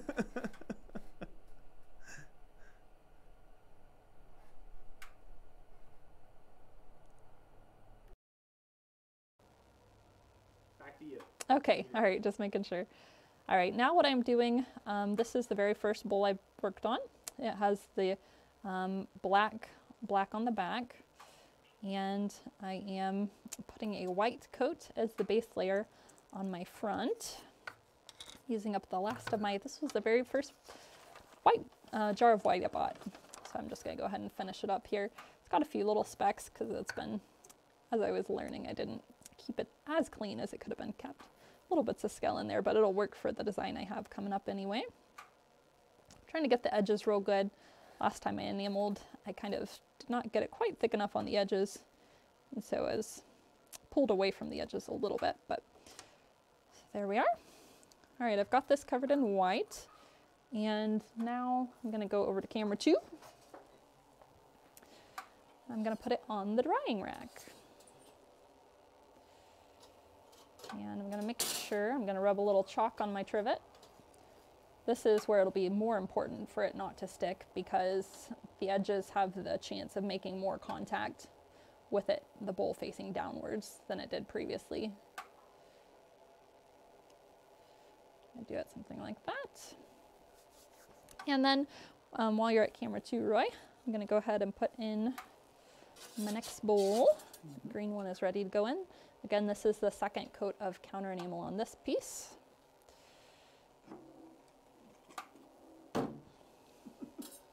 Trying to get speedier. And I'm gonna hold this up again. I'm gonna see if you can see it a little better now. Um, should be mostly cooled off by now. But can you see that from there? Like right around there? That's fine. It's um, Very metallic. yes, very metallic. I was not expecting that effect. Um, but I'm think if you can see, it's kind of orange peely, so I don't think I got the coat on there thick enough. So I'm gonna go ahead and do another layer of the coffee brown on this one. And I'm not sure. I'm not sure if it'll just change to brown after that or if the same effect will come back on the next layer because maybe it's just a certain reaction, but Got a question. Mhm. Question was from CU Metals. When do you when you do the inside, how do you know it's not going to run to the outside? Um, yeah, interesting question. So, really, um, it doesn't drip over the edge. If it was going to try to do anything, it would go towards the center of the bowl because it would want to run downwards, just like gravity, you know. Um, the only way that I would get color on the backside of the bowl is when I'm like sifting with the enamel. Uh, if I had painted on the clear fire heavy and if it had the clear fire had wrapped around the edge of the bowl, um, and then when I was sifting it, it is possible that I might get a little bit um, just on the backside around the edge. But to avoid that, you can just like gently wipe off the underside of the edges with your fingers, and that just wipes any enamel that might be there clean. Also, let's see here. Brett Larson asked at Jess. So what are these? So let me ask it. So what are these being made into? Question mark. They are looking really cool so far, but I probably missed what the end goal is because I was late. Yeah, so these are um, just decorative little bowls. Um, I make, I've made, I don't know, like close to 10 um, for our Etsy store. And yeah, just for decoration, really. They don't have a functional purpose. Um, but very easily it could be applied to something that's more functional. Like um, I did uh, handles, like I forged handles um, and I enameled them in class that I took last year. And so I do have a link to that down in the description if you're interested in watching um, how I enameled those. And uh, again, uh, copper cups, those could be done. Um, all kinds, all kinds of things. Like even enameling doesn't even have to be done to the entire project. Like say if you're making like a flower hook, um, either out of steel or copper, you know, you could enamel just the the head of the flower and then leave the rest, you know, either copper or steel, and that could give it an interesting contrast. Let's see here. Uh, da, da, da. I missed one. I think I see. Um, Alice Harvey said, I kind of like that orange peel effect there. Then we also had CU Metals asked, does it always bubble like that? Question mark. Um, yeah, the orange peel effect is, it's a very interesting texture. You can aim for that specifically just by, um, you pull the enamel or the piece out before it's completely done. Although it will have to be your last coat because if you were gonna apply a subsequent coat, um, it would probably just melt in and fill in while the, because the layer that's already there heats up faster than what the newly applied layer does. It takes it just a little longer. So um, there's a, an effect called um, like the sugar. I mentioned that the first stage it goes through when it's fusing, um, and you can actually use that as a uh, end result that you're aiming for. I've seen it in a book where they they did a sugar coat piece, so it, it looked like there's literally sugar sugar on the piece because it was just granulated. Um, but you have to have uh, you have to have all the grains of enamel sifted to exactly the same size. Right now, the sifter is um, the sifter is letting through multiple sizes of grains. So, but you can get sifters in different finenesses. Okay, I'll go over to camera two. And I'd also like to say hello to Metal Blueberries that just joined with us. Thank you for being here. Ty, or TY, however you'd like it to be. I would also like to say hello. Thank you for being here. Tech Ron Maddock, he came in earlier. Thank you for being here. Neil Graham, hello. Good to have you here, by the way. And Ben Toombs, of course. Good to see you, sir. How's it hanging? It's all you. Okay, so yeah, I'm just holding it here so you guys can see the color change a little bit as it's um, cooling off. It started off that brownish color almost. Just looking at my piece here, I got the edges pretty evenly. Um, this one's, the color's real even. Here it's pretty even. Here, I don't know if you guys can see it, there's a little bit of a dark spot there. Um, that's just where the enamel was uh, not applied quite as thickly, but I'm not gonna worry about touching that up. I'm gonna go ahead and let this piece cool off and then I'll go to working on the front side of it. Graham Pepper said, "So what stops the previous layers from moving on you?" Question mark. Um, so once, w- hmm? Was gonna put the next piece in. Give me a second. That way this trivet can, okay. Okay, get this one in.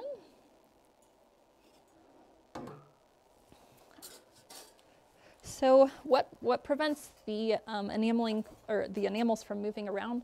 Um, so they can, they can and will move um, if you're applying it without the clear fire, if you're just like sprinkling it straight on um, to like a flat piece of metal. And if you were to like tilt it a little bit, like it kind of would run or shift in the direction um, that you've tilted it. Uh, and also, um, and then, like I said before, you know, if you're doing sgraffito, you can use a paintbrush or you can use a tool to move the grains of enamel while they're still, before they're fused. But once they are fused um, either to the metal or to the previous layer of enamel, um, it's not it's not really going to go anywhere. They they pretty well just lock in place. Except, like I said, if you have too heavy a layer of enamel, like it can kind of drop drop inwards or drop towards wherever the point point of gravity is. Kind of like a little bit of like a run maybe in paint. Um, but besides that, no, it doesn't really move too much. So let's see here. Brute Lemon said, any certain place you like to get your enameling stuff from? I apologize if this has already been asked. Carnage Creations, Paul Fontanini. Hi, hello, good to have you in the house this evening. And Alice Harvey asked, Jess, do you solder? So if you wanted to, you could solder on legs or a handle? Question mark. legs or a handle.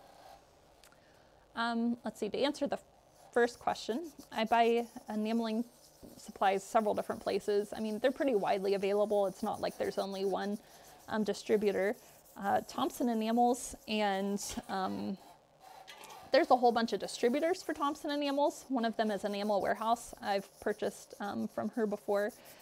And also uh, Parley Carpel, Pearly Carpel uh, on Etsy. I buy things there as well. Um, as far as like my blanks, I'll buy those all over the place. I'll buy them on Etsy um, and blanks for my jewelry.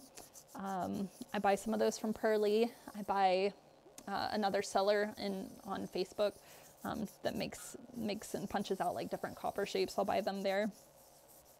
Um, so yeah, a little bit of everywhere. And remind me the second question. It'll take me a second. The second question is just do you solder? Solder. So if you wanted to, you could solder on legs or add a handle question. Um, I do. I've tried soldering. Uh, I made three crosses that were forged, and I soldered them. Uh, and that's the extent of my experience so far. But um, I definitely plan on, you know, practicing it some more in the future. And I think it could be a very helpful technique to have under your belt. Black Collar Ironworks said, "So my gold membership sold me out." yes, it sold you out. Hopefully, it didn't bankrupt you at the same time. So, hopefully that were hopefully you meant for the gold membership. All that. Oh, thank you for that. Let's see here. I don't see anybody else there. I did see Kid KV said I'm always late with three ghostly figures. So, well, good to have you, kid. I'm not sure if it's meant if I'm pronouncing it right, but I'm just going to call you kid because that's the easiest part to read. and Techronmatic said Roy looks like a radio presenter with that big mic. Yeah. It's like right up in your face. Get ready. Camera two. Got it. Okay.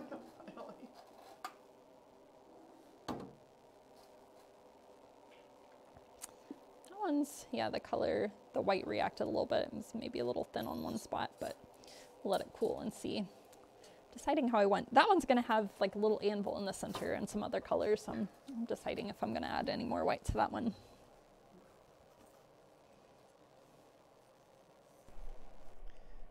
Now, it may not be overly apparent because sometimes the cameras, you know, working with ISO and some of the other stuff, it doesn't render colors just as good on a live stream. But the green one on the backside is very vibrant green right now, like just super bright leaf green, which is really, really cool. So, um, and then the white is definitely a super white color, which I think is pretty awesome if you do there. Uh, it is 6:48 p.m. and if anybody in the chat could drop how many people we have in the chat with us this evening and how many likes we got, I would greatly appreciate that because Roy doesn't do big buttons. If I tap on something wrong, we will all of a sudden go black and Roy won't know how to bring us back. it is. It's a rhyme indeed. So, tell us what you're doing there, Jess. All right, so I am applying clear coat to this layer, the one that's metallic brown. And I decided to use my bigger sifter with the Pearly Carpel um, enamels because the grains are a little thicker. Just allows me to spread it faster. It was going a little slower with the medium-sized sifter. And since this one was kind of orange peely, I'm gonna try to get a little thicker of a coat on it. All right, so let's hear. It looks like we have 72 watching, 54 likes. Also had a couple of other great questions here. CU Metals, do the surfaces have to be flat for cleaning or could you use items you couldn't clean properly due to indentations and some other stuff enameling? Uh, I didn't get to read the rest of it because it floated right on by with everybody commenting. So, um, Okay, so to answer your question, um, no, it does not have to be a perfectly clean surface. You, if it has some sort of grooves or something in it, um, that's okay. It'll like still work out. I've seen the the lady I learned from. She actually took um, thin copper sheet, and she was.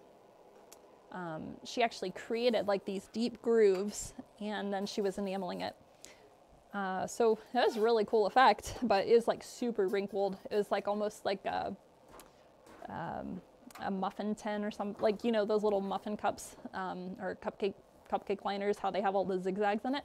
Kind of looked like that but amplified like even greater like like ridges in it. And so she enameled it.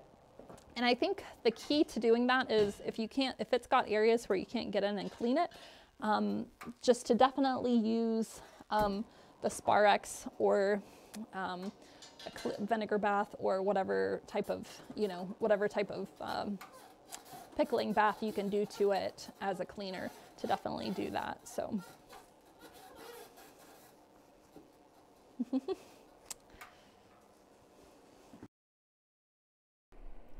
Sorry, just had to go do a check real quick. sounded like some car doors were shutting, but no one was there. Gene Sim- Simonelli said 73. Roy doesn't do big buttons. And hammers with flame. That's awesome. Where are you going to next, Jess? I'm, I'll be back over here in one second. This green bowl is now um, to, let's see, yeah, I'll go back over here. This green bowl is, I'm gonna go ahead and clean this by putting it in the Sparex bath because I would like to be able to use clear enamel on this uh, without there being any scale at all in the background. So I'm gonna drop it in there um, for like 10 minutes and hopefully that'll have it fully cleaned off in that amount of time. And um, I'm gonna do the leaf, like the leaf style that we showed over on Instagram, using some actual leaves as um, like stencils.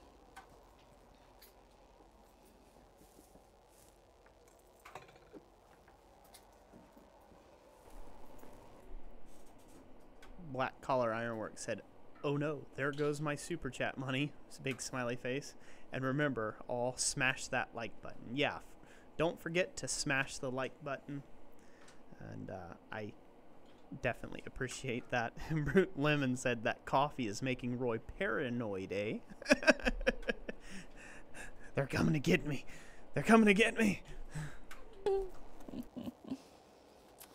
I have some chai tea. You know, I don't mind sharing. give it. You could give it a sip. It's not too bad. All right, I give it a try. You, g- it's although try. I have to warn you, it's lukewarm now. My thermos isn't as good as yours. Watch his face, ladies and gents. no? yeah, he doesn't like tea. He'll drink it if he's sick, uh-uh. but uh-uh. no, not your thing. Nasty. That was nasty. Not only was it cold, but now my mouth tastes like Hobby Lobby. Ha! Or like the men's bathroom mints. No, no, that's no.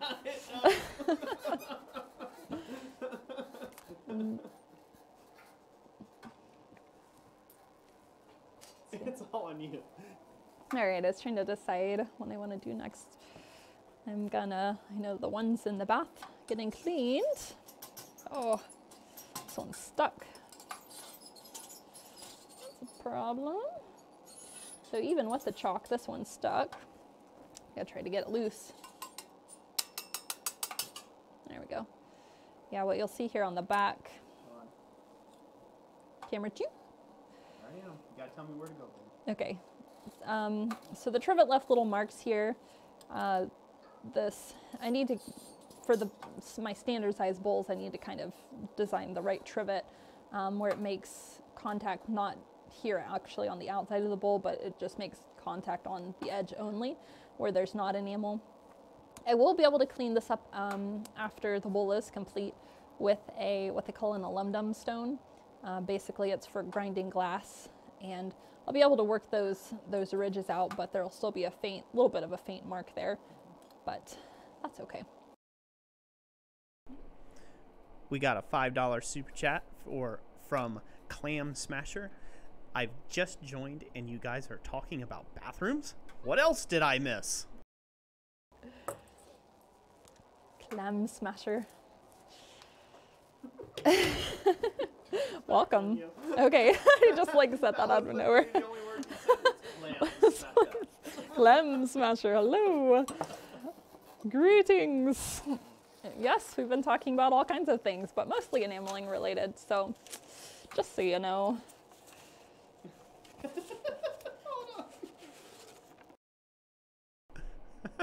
Roy Everett said said bathroom bathroom mints are a very acquired taste.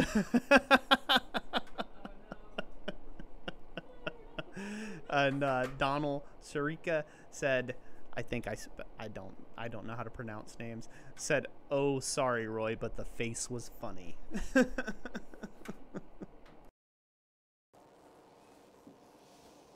Go back over to camera two for a minute. Mm, no, actually, think about. I'm gonna give that one just a little bit longer to dry. Back to camera one. Here, I'll I'll talk for a bit if that's all right. Yeah, or do you you got more to share? You- Okay. She told me to shut up. Said, hush it, Roy. All right, so I'm gonna tell you guys what I'm gonna be doing on the front of this bowl, and I will let Roy read some comments. Um, so I'm briefly, right now, the only part of copper that's um, making scale will be the edges of this because there's no enamel on the edges. And so what I'm gonna do is I'm gonna use a little uh, anvil that I cut out of cardstock, and I'm going to sprinkle around the anvil to, it's gonna leave the impression of the anvil um, in the center of this bowl. So I'm gonna do that in black. And let me see where I put my little anvil thing. I glued it on a pencil. So, see here.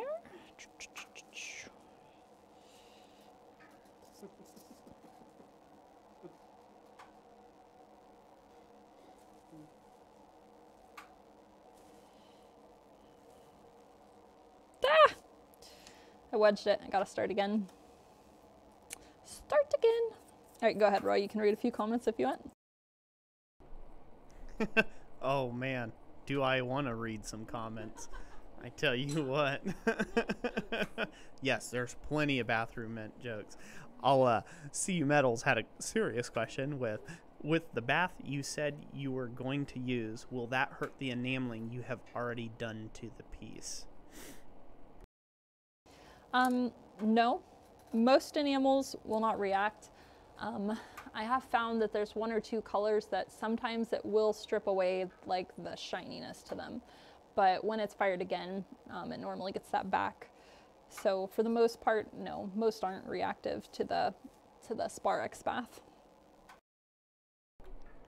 Also, we had Black Collar Ironworks ask. So, what is a Jess rant called again? Question mark. And can I request one of them? Big smiley face.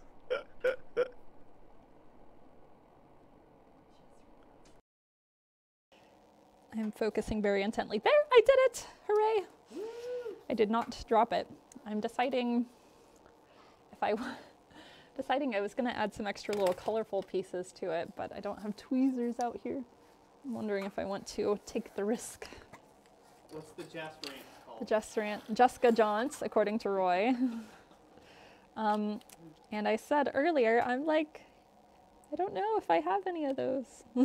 so, um, maybe you guys can suggest a topic, and if I hear a topic that I like that I want to rant about, I will give it a try. A, a jaunt, as Roy says. We can give it a go. Okay, I gotta tell you all this.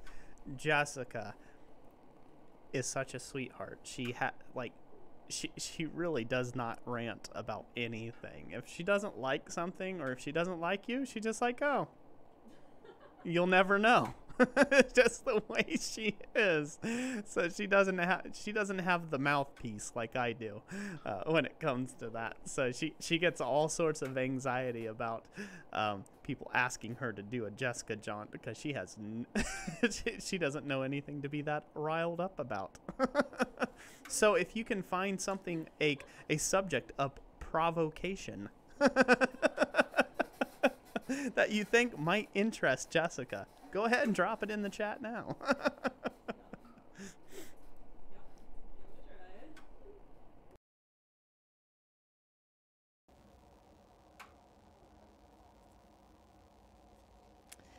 I, um, yeah, I'm gonna try that.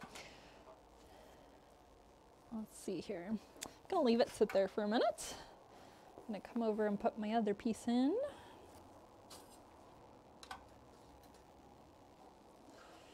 Here we go. The quicker the better. And my other trivet. Figure out where you're going. Figure out where I'm going. I am going back to camera one. Sorry. I'm gonna try to clean my trivet that has a, that little bit of enamel stuck to the trivet with a bit of sandpaper.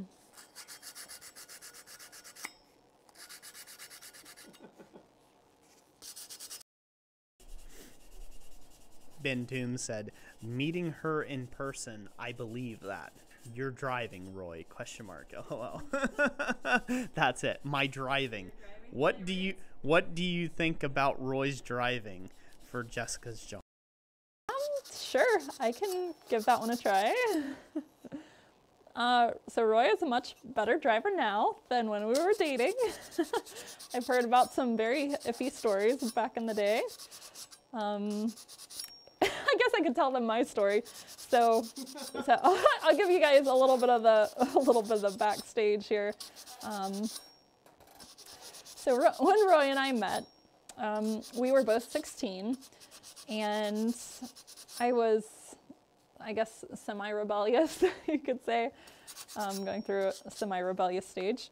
But anyway, um, so my parents were like, you're, you're not dating yet, and I thought differently. so I said, well, I'm, I'm going to meet a friend. Uh, I'll go with you, mom, to your appointment, and then afterwards, I'm going to go hang out with some friends. And she's like, oh, well, I'd like to meet your friends. And I'm like, no, I don't want you to meet them. and so I'm going to go set this over here for one second, and I will continue. You know why she didn't want you to meet them? one brief intermission from the story.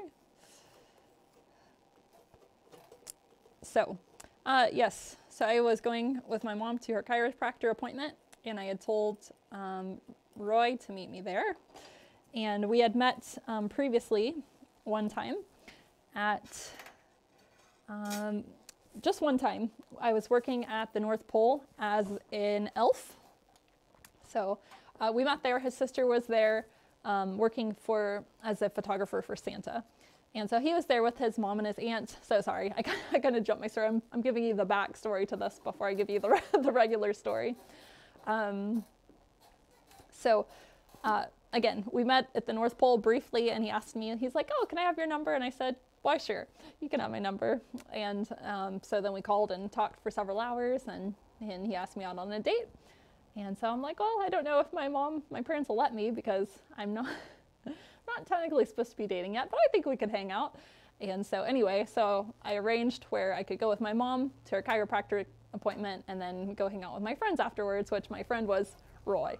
Um, so, so I get out, I'm on the sidewalk after my mom's appointment. She wants to meet my friends, and I'm like, no, I d- I don't want you to meet my friends right now. And uh, so I started walking down the sidewalk. My mom started driving in her car. Well, it was a one way road, so she had to turn and go around the block. So while she's turning and going around the block, Roy shows up in his car. So I hop in and I say, Go, go, go. And so, so he didn't know what was going on. He thought maybe I like just robbed a bank or something. Go, you got to add? Okay, so this is what really went down. She comes booking it from between two buildings. She had been running away from her mother, and I didn't know. She come around the side of this house, flat out running for my truck.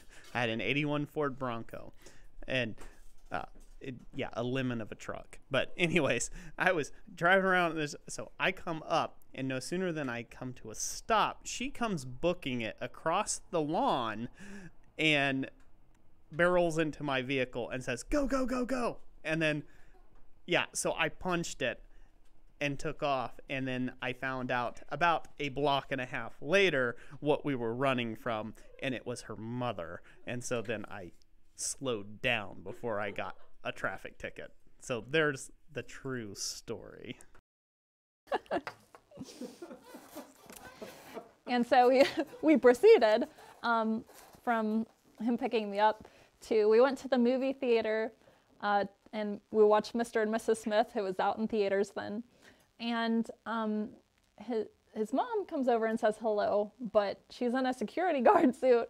I'm like, so that freaked me out for a second. I'm like, oh, am I gonna get in trouble? Because I didn't know I didn't know it was his mom at first. Like I didn't I didn't know what was going what was going on. But ended up his mom was a security guard at the mall at the time. So it's interesting.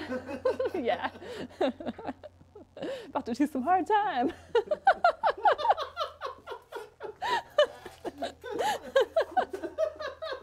for running away from my mother. Some hard time. She was going to get a prison tattoo, like a teardrop. She was going to do some hard time with the security guard, making a citizen's arrest for running from her parents. on this one. and you're curious what? Yes, I want to hear the comments, what people are saying. Well, some people said Wiley Rook blade works in some states. That's called kidnapping. Roy was under six, Roy was at 18. Yes. Uh, let's see here. Also, we have, oh, I'm aware of putting her on the spot like that was priceless. And you were both 16 and at the North Pole. My text to speech can't keep up. yeah, there's a lot of funny stuff. Clam Smasher with a 2 euro super chat said that was incredibly wholesome to hear. Oh, Thank him. Thank you, eh, by the way. thank you. Thank you very much. And I'm not quite sure if we've told my mom yet this story. I, I think we have, but this could be the first time. So, so yeah, if she shows up in the live stream, Hi, Mom. that's, that's the truth. Now you know it. Hello, Mama Harvey.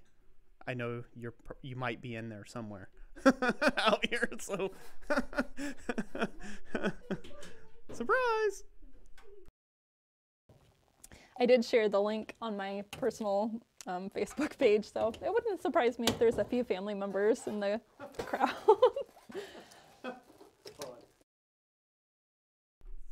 Ben Toon said, "Sorry to bring up old crimes, Roy. My bad." yeah, let's not go digging too deep into Roy's past. Um, there, there are some skeletons there. Yes. Oh, here, hold on. Man, I'm having to do a lot of mic switching tonight. I don't even think you do this much mic switching on a normal basis. Clam Smasher said at Christ Centered Ironworks, British pound sterling. We fought against the implementation of the euro for a reason. Smiley face. Well, I am sorry. Your British pound sterling, good sir. I'll take it any way it comes. Here in the U.S., I'll just start calling them dollars. How's that sound? we'll just start calling them dollars. I got six, 36 monies. Yeah, we got we got doll hairs. Thank you. We had uh, we had two doll hairs show up in there. Let's go with that. All you. Okay. Um, so I just got this green one, the one that has the back is green. I got this one out of the um, Sparex bath, and uh, there's the scale had all turned like a kind of a reddish brown, and so it was fully um, fully done cleaning. And I just scrubbed it down with the green uh, scrub pad, and um, so it's kind of a matte finish right now, but it's clean. It has all the scale off. And so this one I am going to do a clear layer on, um, basically just a medium fusing clear. That way, um, that way when I do my next layer, um, there'll, it basically it preserves the color of the copper to being a color, like a copper look versus reacting with the other colors. Black Collar Ironworks said that was so worth getting gold membership. Laughing, crying face. Camera two, Roy. Before I put the clear on there, I'm gonna go ahead and put this in. And you guys, I don't, you probably can't see down in there. the. Okay. Went a little slower with that one to be genteel. There's little, little glass seed beads in there. Um, if you've seen those, like for from uh, Indian Indian type jewelry, they use like those little tiny beads. If you get glass ones, uh, you can actually fire those into your designs. You just have to make sure they're not plastic, otherwise they'll just char and burn away.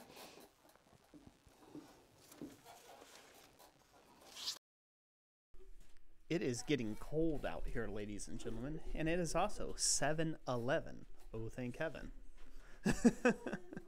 Clam Smasher said, You're forgiven, Roy. Big heart. Thank you. Let's see here. Ben Toom said, I hold it against you, Roy. and then let's see here. Camera 2, Roy, Strong Adventures, yelling out at me in the comment section. So they're, they're trying to help me out by giving me advice when to go to cameras. And uh, so I love that. You're all welcome for my awesome, awesome, might I add, Clicky Fingers McGee tonight. Yes, you're welcome. These digits can do other things besides blacksmith. I better shut up now. They'll think that it's all going to my head. No. Strong's Adventures, thank you for being here, by the way. Billy Martin, Ozark Mountain Forge. By the way, I didn't get to say hello to you, so thank you for coming in and watching the stream this evening. Roy Evitz, thank you for being here as well. And yes, I am very uncomfortable without a hammer in my hand.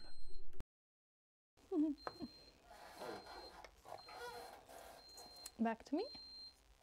Are you still reading comments? Back to you. Back to me. Okay. So it's kind of, um, as you guys are probably catching on here, I mean, it's fairly, um, steps are fairly basic and they just kind of get repeated throughout the design.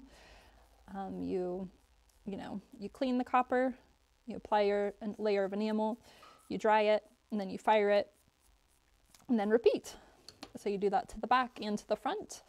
And that can basically be done to something flat, something three dimensional. Um, the only thing to consider when working with three dimensional pieces uh, is again um, how the trivet is going to hold the piece without being in contact with enamel, which I hear there's um, some spray stuff. I'm trying to remember the name of it. Zip, ZYP. Um, I haven't bought any yet because it's like $54 a can, but they say um, that like gl- a lot of people who work with glass, they'll use that on um, the surfaces they don't want the glass to stick to, and then things like trivets can actually go directly on it. But I have not tried that yet. So let's see here. Possum Sauce said, You look uncomfortable being the angel, Roy, lol. And actually, what makes me most uncomfortable is the fact that I have to keep my mouth shut for long periods of time. That's unnatural for me. It's very unnatural for me. So, just like Jessica having to do all the talking, that's very unnatural for her. So, um, but she's a she's a natural talent in many many ways as you can clearly see before you. Just gonna get better said, too late, already gone to the head, Roy. Yep, that's right. Good to see you here, by the way. And let's see here. Also, also possum sausage. I don't think I said hello to you yet this evening. Thank you for being here, sir. Great to have you. CU Metals asked, Jess, can you j- can you add glitter to it at any point before firing? Sorry, did not give you a warning on that. Nope, not at all. I apologize. I just realized it was in there already long enough. um, yeah, the type of glitter I would recommend would be uh, the mica, because regular glitter, I believe, is mostly plastic. So it would just basically light on fire and uh, leave little burn spots in your enamel. So um, yeah, I mean, buy mica. It's like three dollars from. You can buy buy them for like three dollars for different colors on uh, Etsy. So I plan on buying some of that eventually. Um, still trying to build up my stock. I, again, I went and purchased um, the kiln versus.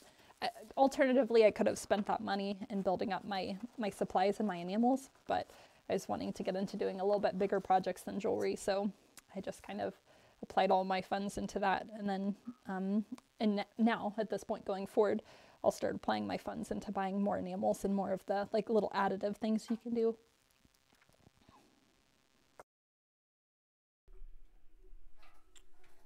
Let's see here.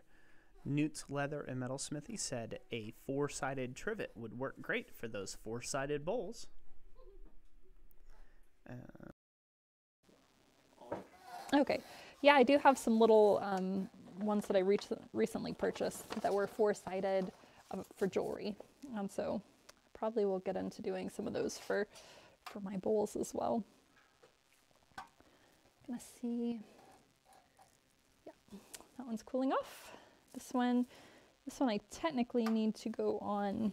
That anything. trivet. Can you go down Sure. into that side there? Yeah. So you need that to go on a trivet. I need this to go on a trivet, but I can't use, I mean, I can set it on this tray to dry for now, but I have to remember to put it on the, on the trivet mm-hmm. before I fire that one. So, And when you bring something out, leave it up in that space. right here in this yeah, area. In that area. Okay. So these can see it. Okay. Let me Scoot, scoot the trivet down here. question. Uh-huh. Question came in from Roy Evans. Said, "Have you tried smashing colored colored glass to make an enamel?" I have, um, actually. I have, we'll go back to camera one. My daughter um, likes doing mosaics, and so she had some little glass tiles, and I'm like, I, I don't know what, um, I wasn't sure what type of glass they were, but I'm like, well, I could, I could just crush them up and give it a try and see if it works as lump. They call that um, lump enamel when it's in chunks, and so I have a mortar or mortar and pestle. I think that's what that's called, um, made from stone that I used to crush it up. And I did. I crushed um, a couple different colors up. I just have them in little baggies, and the lumps are in different sizes. And um, I used them in a project recently, so I might I might use a few of them on the front of this bowl that I'm working on.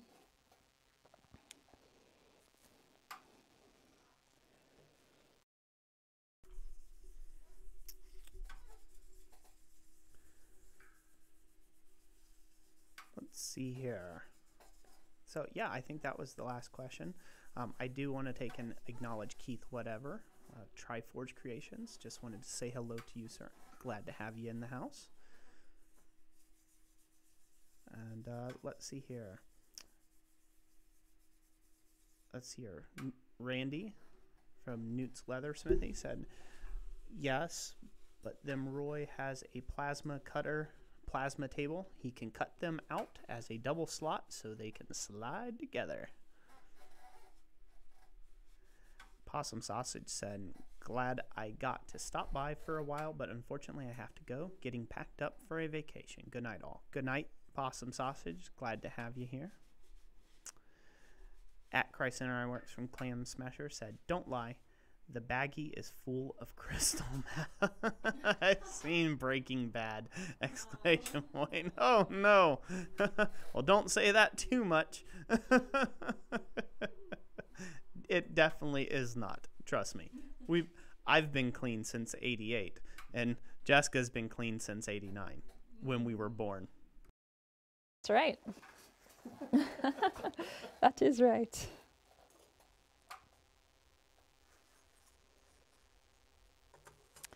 So I just had um, had a little chip break off right here at the edge on the brown. Um, so I'm deciding, I think I will repair that.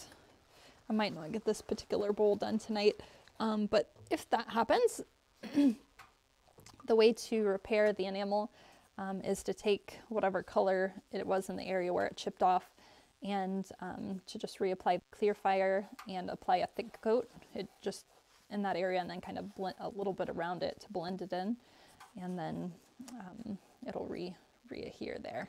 I think what happened is when I was cleaning I might have pressed a little hard and flexed the metal because it is thin metal. Question from Bill Carnes. Well, first off, hello, Bill. Good to have you in the house this evening watching this stream. Whenever I try enameling in my propane forge, the glass pops off when it cools. Is the forge too hot? Question mark. Um, so depending on what you're, so normally the glass can pop off for a couple of different reasons.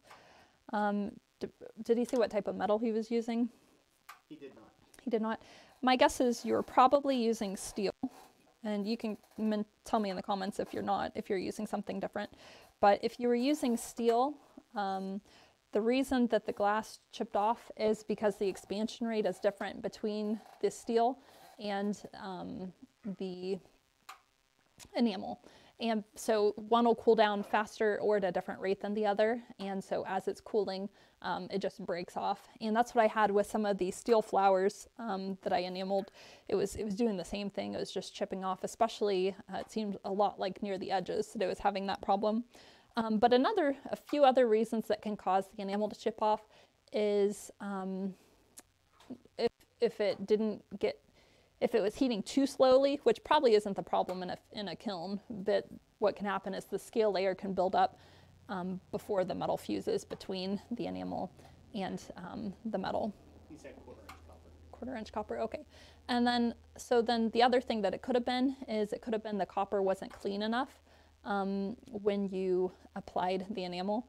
Uh, so the way to do, the way to rectify that is um, just to clean it really good with um, like a scouring pad like I have just uh, like I have here um, and even a little bit of soap and then you just rinse it real good afterwards. Um, and then there is there could have been one other reason and it could have been if you're you said quarter inch. Um, so depending on what you're using to put it in and out of the kiln with uh, or in, with your forge um, if it was flexing the metal at all like a little bit um, then it can cause it to chip off. And I had that happen when I was last enameling. Um, I was lifting, I was using my copper tongs here, these big heavy ones, and I was working with the same thickness plate, but it was a bigger bowl, it was a six inch bowl. And I was picking up it at the corner, and when I was lifting it up out of like the bath, the angle I was I was holding it at was applying too much and it was flexing at the corner and I'd have the enamel break off just at the corner. Um, so that could be another cause.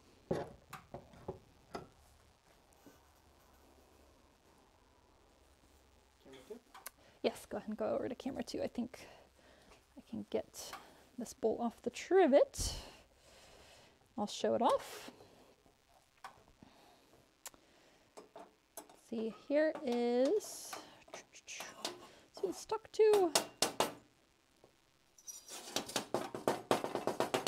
If you gently tap it, it'll break loose, but this is the design for this one. This one's finished. Um, I did the little anvil stencil in the middle and I enameled around it. And Tilt it a bit more so the light's not shining right in it. Ah. The other way. let The other way down. where it's shadowed. Okay, ah. I'll just hold it. There you go. Is that good? Yeah, perfect. So um, the stencil was right there in the center. I sifted lightly black enamel around it so you can see the outline of it.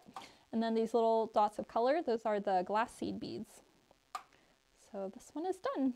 So all I'll really have to do to this one to complete it is to grind the back with the alundum stone. And that one we are giving away tonight. Uh oh, did you all hear that? That one with the anvil in the middle, we will be giving away tonight. Isn't that cool? Also, I found out that we have a bunch of old fogies in our in our membership. No, they said, "Geez, 88. I graduated in 88." So everyone's everyone's commenting, and I don't think I've seen too many people who said that they were born after 88, other than one person in 1996. So. oh, it's funny to see everyone's comments. So, thank you all. Hopefully, I'm doing okay. I'm trying to give Jessica ample times to talk, and uh, you know, but I do acknowledge the chat. That's why you can see me smiling over here and nodding my head.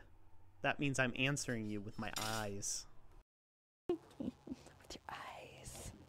Back to me, as I said, eyes. I just echo. Okay. Ooh. I am hearing little flecks happening. That is not a good sound. I'm coming back. I'm hearing a little popping sound right now coming from the kiln. I'm thinking that's telling me that the enamel is coming off. but we'll see once it comes out. Um, I did have once before where it was making that sound and then, um, but the enamel didn't come loose. It just must have caused like little micro cracks. And then once it came back to heat, it just fused it back on. So hopefully the enamel's staying on that one. Sometimes things happen and you have to work with it. So Tell more about the giveaway. Tell more about the giveaway. Okay. Um, well, since it's done, I mean, do you want to, uh, let's see, should we say a catchphrase? I think we said last time we were going to make them do a catchphrase. So maybe I'll make mention of the catchphrase and then after I pull the next one out, that's when we'll draw the name. How does that sound? So what do you think? Well, that sounds good. What about um, enameling is cool? we'll do that as our catchphrase. So if you want to get entered to win the bowl, uh, you have to type in enameling as cool as your entry to um, have a chance at being entered to win that bowl. And uh, here in a few minutes, after I pull this next bowl out, uh, we will draw the winner for that. So Roy's going to get to see how the comments fly. I'm gonna pick one at random that's flying by at the moment. So because I don't know how to scroll this thing, I don't see the scroll bar at all. Yeah, you have to resize the window a little I, smaller. I have to resize. She says I have to resize something, gentlemen. I have to resize something so I can flick the thingy, the Duma flicker. I have no clue. So I have no clue what she wants me to do here. Do you want me to show So, you, or but you just gonna no, just no. I'll just, I'll just. It's not the chat's not going too rapid, so I'll just uh, pick one of these. Back to you. Back to me. Sorry, I know I stood up there for a second. Enameling school. Oh, enameling is cool. That's right. Let me peek in the kiln and see how close we are here. See, it looks like a little bit longer. Maybe about 30 more seconds. Just getting my workstation tidied up.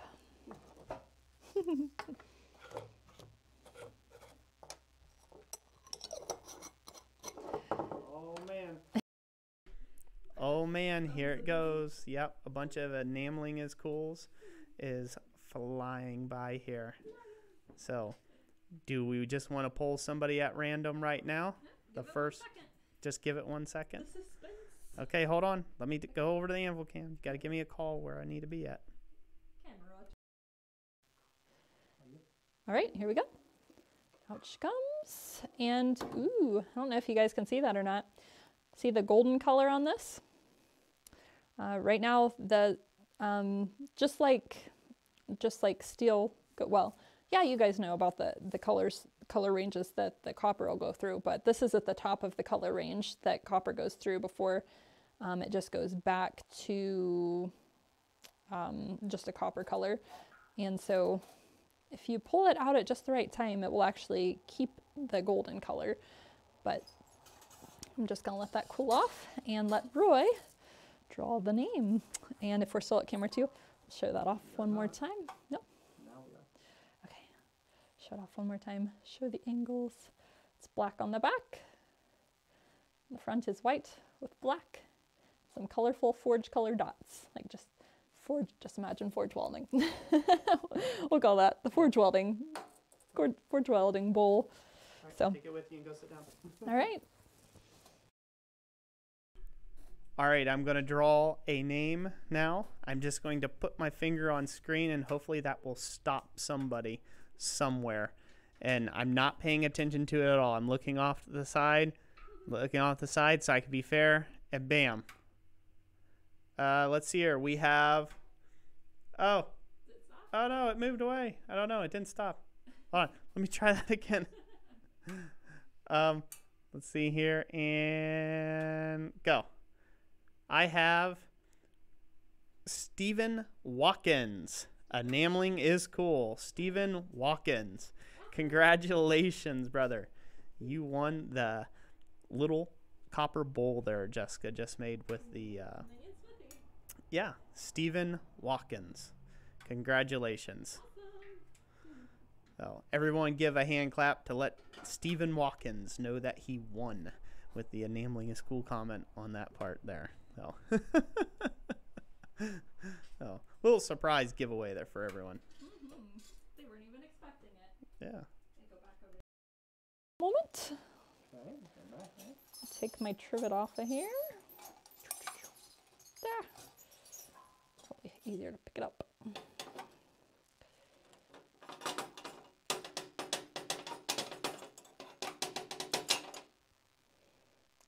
This one's the one with the back. Back is green. I guess Hold set it that up a aside. bit so Okay. see it. There. Something's going on. Hmm. Gonna let that cool a little further. And then I'm going to put in my brown, the one where the back is brown, and I'm doing the repair in one spot. So I just have enamel in the one spot. All right, oh, I did not look at the temperature before I put that in. That's all right, I'll climb back up, but it was right at 1300 degrees when I put it in. So the alarm will probably go off, but that's all right. Everybody's been doing so well now. They've been so well behaved. Should we give away another? Well, it's not done yet. it has to be done so they know what they're getting. yeah. Do we want to give away another? Well, if it, well, that one, like that one, like I said, is going to the, to um, someone specific. But this this brown one, when it's done, yeah, we'll give it away. Oh, okay. I can tell. I can tell. Um, yeah. So this this next one that I'm going to be working on, the one where I did the clear. Uh, like I said, if you use clear or transparent um, enamels, you can actually see any texture you had underneath, um, which is pretty cool if you're working with copper and you want to give it like a heavy wood grain texture or the pebbled texture, you know, lots of hammer texture. Or you could even stamp stamp, you know, into the metal um, and then enamel over that. When you're working with a clear enamel or a transparent color, you'll be able to see that, um, which is pretty cool. I think there's a specific technique, I think it's called champleve, um, and it's specifically working with um, textured or engraved um, surfaces because what happens is where it's deeper, it gets a darker color, even like if you're just going with like say a solid blue all the way across the whole piece, it'll be darker colored in the recesses of the piece where it's been like engraved. And so it's really cool. I think that's called champleve, but I haven't played with that any yet. We have another great question from CU Metals. There was a, there was another question that I, I missed. It was somebody who was in California asking about the minimum thickness of glass to metal uh, enamel on silver. Sorry, I didn't get to that one. But CU Metals was before the giveaway. I asked, could the creaking or cracking be from the loose glass that was in the kiln? Question mark.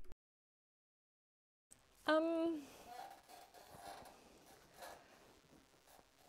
I don't think so. I think any little bits of loose glass that were in there, they wouldn't be able to cool. I mean, they're staying hot. So, and when it's hot, it's not cracking. The enamel cracks when um, normally, well, it, it, it can crack when there's a temperature change, but I don't think the temperature change of just the door opening briefly while I'm setting a piece in there would cause any enamel that's in the kiln to solidify instantly. So, yep. Um, and To answer Wiley Rook Blade Works, I wanted to say at Christ Arts, did the package I sent arrive okay? Yes, it did, Wiley Rook Blade Works. It arrived just fine. Um, we actually went into the post and got it today. So thank you very much for sending that out. You'll be seeing it shortly in other live streams. Okay. Um, so I'm going to get my colors laid out for this next process.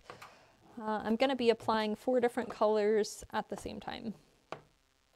So, um, and if you've wondered what these pieces of paper I'm using here are for, um, I just use one color per sheet of paper, and that prevents um, any little glass particles that might get left behind on the paper from mixing with, uh, you know, the other colors when I go to pour a specific color back into its jar. So I'm going to be working with grass green, uh, goldenrod yellow, um, also my red. That one is called flame red. I used those when I made our uh, enameling keychains for our. You guys might remember that. Um, when did I do that? I think I did it fall of last year, and there's still a few left. I did some like logoed enameled keychains for our company, and I used um, the red and the yellow like in a uh, ombre kind of gradient. So, and then Real quick question that I missed earlier. Moa Sayas said hi from Los Angeles. I hope I got that name right. I have question. How many millimeter is the thinnest depth of the enamel to stick to the silver? Um, I'm afraid I'm not. I, I don't know the specifics of the thickness. Um, the I mean, I'm literally applying like what would be considered like a dusting. Like it, the consistency is about that of powdered sugar. Uh, the metal I'm using is 22 gauge, um, but the amount of glass I'm applying is very, very thin. Maybe um, you know, I don't know, maybe a little thicker than the thickness of a hair. I'm, I'm, I don't know. I haven't tried measuring it before, so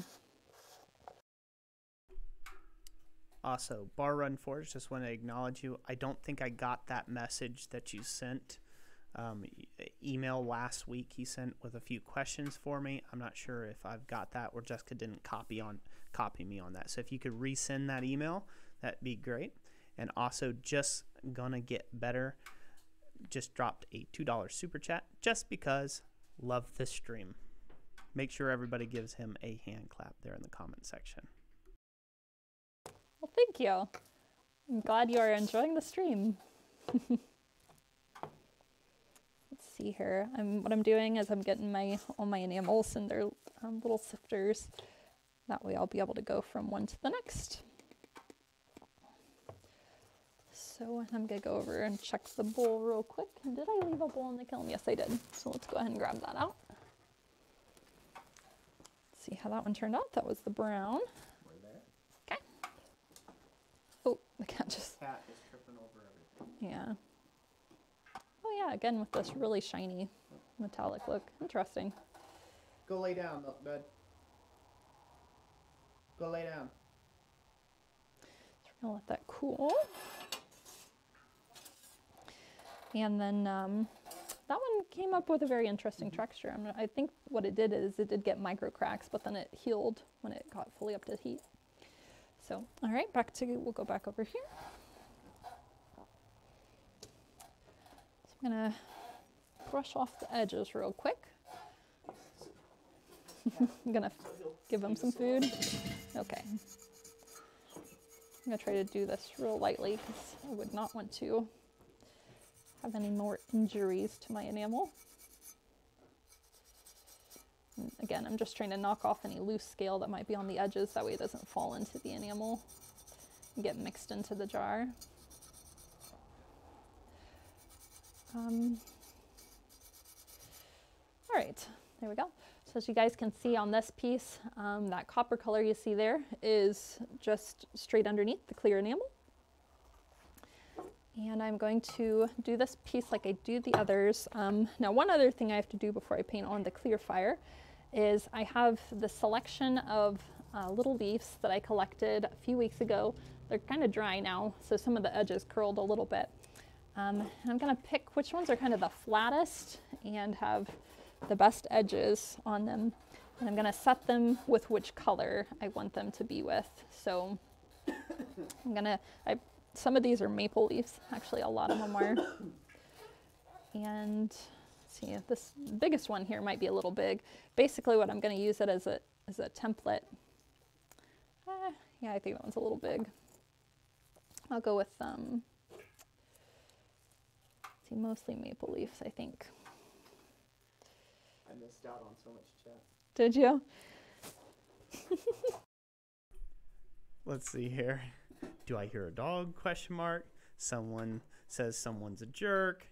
There's there's a lot of clappy hands and things. I hope I didn't miss anything super important. Randy said muscles are required, intelligence not expected. I don't know what that means. Oh, Roy telling Jess to go lay down. Kid KV said. Uh, let's see here. Sorry if anyone was talking to me in chat. My text to speech engine broke. Three hearts all from Black Collar Ironworks. Oh man, that's so funny. You guys are great. Gordon Farmer says, Roy, when when you installing flux cannons? And then somebody had also asked earlier, when am I installing enamel cannons? no, I don't I don't think enamel cannons would be a great idea at all. No. And I don't know if any of you all saw, I am wearing pants for the stream. Congratulations. It's all back to you. okay. Well, congratulations, Roy, on the pants. Just kidding. All right, what I'm doing now is I'm putting my leaves up against the bowl and then I am sprinkling the enamel around it. And so once this fires, you guys will be able to see this really good, the effect I'm going for here. Kind of just hovering it above the top of the surface of the bowl. Yeah, I figured probably not, but I'm gonna do a different color in each corner. I'll give it an interesting effect.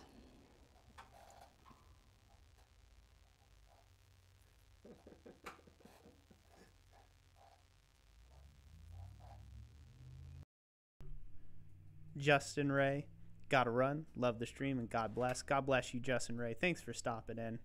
Uh, glad to have you here. Bar Run Forge, who's a big boy? That's me. Only because it's cold, Roy. Roy Everett said. so, I'd also like to say this real quick. Thank you, everyone, for being here. Thank you, guys. You guys are awesome. Um, we really do love this community, and it really is a great community. Thank you all for being so helpful and inviting new people in as well. And uh, we do appreciate that. Another two doll hairs from Clam Smasher, but they aren't yoga pants. We've had a talk about this, Clam Smasher. We have had a talk about this.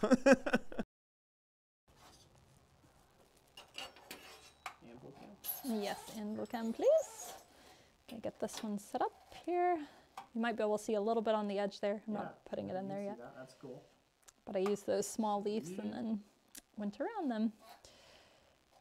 Kind of like in some fall colors, you know, 'cause it's that time of year. Got a question? Rob Huff asks, "Can you use enamel over tempered copper without without losing the temper colors?" You cannot. So if I believe you're referring to like the rainbow colors, um, and the copper gets much hotter than in the kiln than it does with those colors um, on there. So no, you won't be able to keep keep those colors. Um, if you were trying to do something where, like, and I thought about this before, like if I was doing a bowl and it was thicker metal, um, where I wanted to do the rainbow colors on one side and enamel the other side, the way I would do it is I would enamel, like say the front was going to be enameled, I would do all my enameling on that. And then on the back side, after I was done enameling, I'd polish it and then just torch, um, torch color it to bring out the rainbow colors. And it's at a low enough a temperature, I don't think that it would affect the enamel on the front. Yeah, Black Collar iron works with five dollars said, "At least you're not wearing the buttless chaps you usually wear." Three hearts, bro. hey, I get sweaty in the shop in the summer.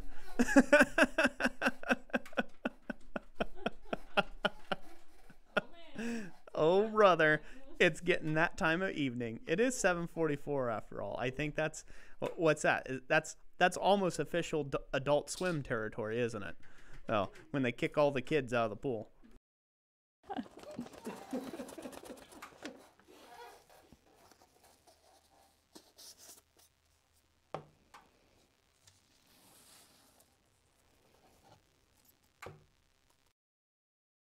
Okay, she had nothing else to say, so so so I will uh, comment here. Moasiah said, "Thank you. A human hair is between 0.04 and 0.01 millimeter, so it is less than the length of the millimeter, less than a tenth of a millimeter." giving you some facts. Thank you, by the way, for repeating comments or questions that you have. Uh, that does help me out this evening, so greatly appreciate it. Redbeard's Forge, good to have you in the house this evening as well. Thank you for being here. The camera too. We're camera two, and we're on you. All right. Go ahead and set this in. Been extremely fortunate this evening not to have dropped anything. My balance must be not too bad. Yeah, I know. Ah, there's no wood. Wooden beam. Doot doot. Okay. so let's see. I'm gonna examine this one to see how it went when I fixed up the patch. So yeah, so it was right there, and that covered it back up. So now I can clean clean off the front and enamel the front. Back to camera one. Daniel Crawford said, learning new stuff here. Thanks, Roy, for having Miss Jessica on the live stream. Mr. Crawford, sir, you are awesome and you are welcome. And welcome to the stream, sir. Good to see you here.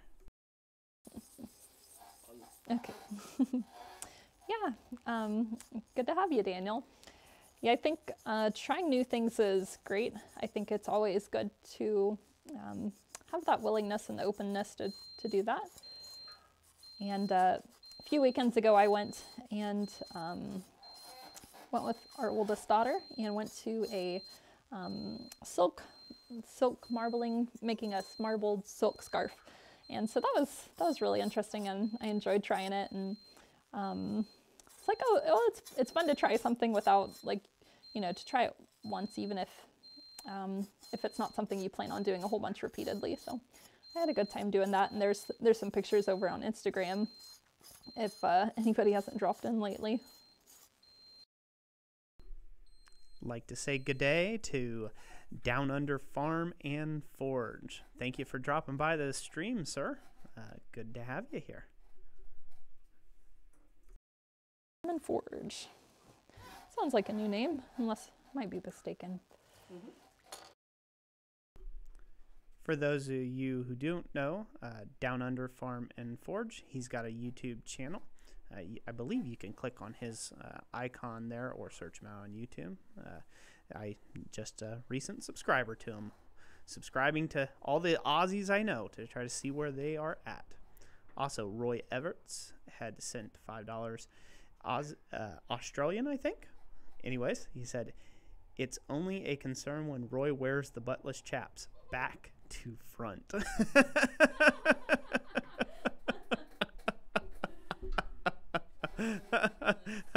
or if Jessica catches camera number two at the wrong moment.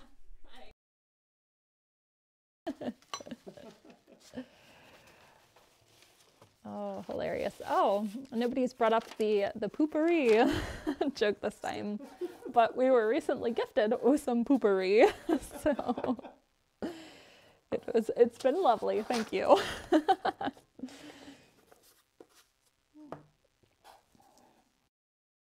See here.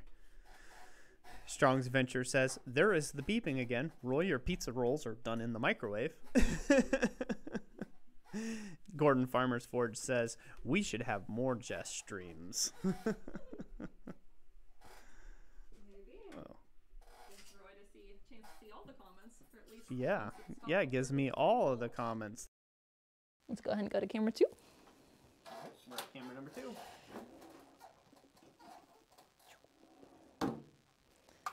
Right now, everything just kind of looks very black and gray, but it will change. We'll let it cool. held it up a bit. Oh, I can. Hold it up a bit more. Can you see it from there? Yeah, just a little bit. That it's is- not that impressive. Yeah. Oh, okay. Slow. It's slowly starting to change too. It's forever colors.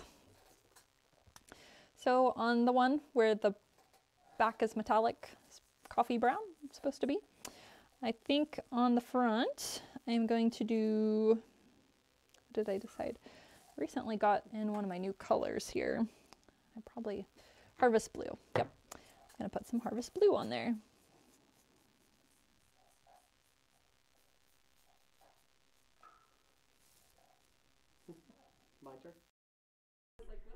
Ah, my turn to speak.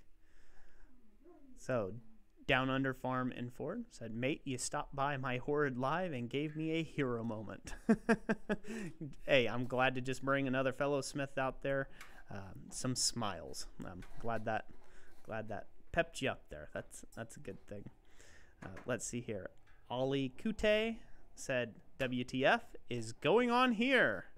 Thank you for abbreviating that. Uh, we appreciate that for the whole YouTube censors there. I appreciate it.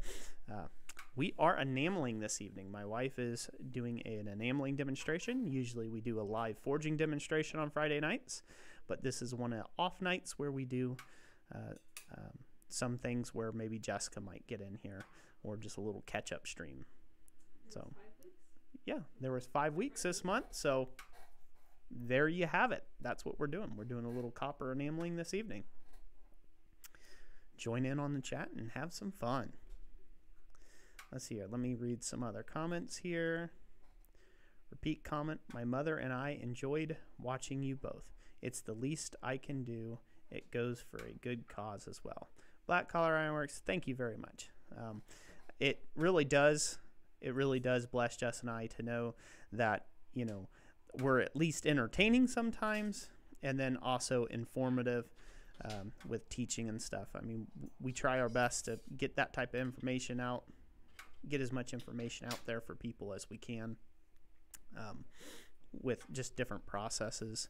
And it's all of the great community around us, like you, that supports us and allows us to be able to do that because we don't make the most popular YouTube content out there. We really don't. Um, I think be a Roy rant for another day, but it is from donations like your guys's and all the super chats and things like that is what makes all of our giveaway streams possible and it's what allows me to have more time to say no to some different jobs to focus on doing teaching of things that I think matter and of blacksmithing skills we don't want to lose for generations and generations again.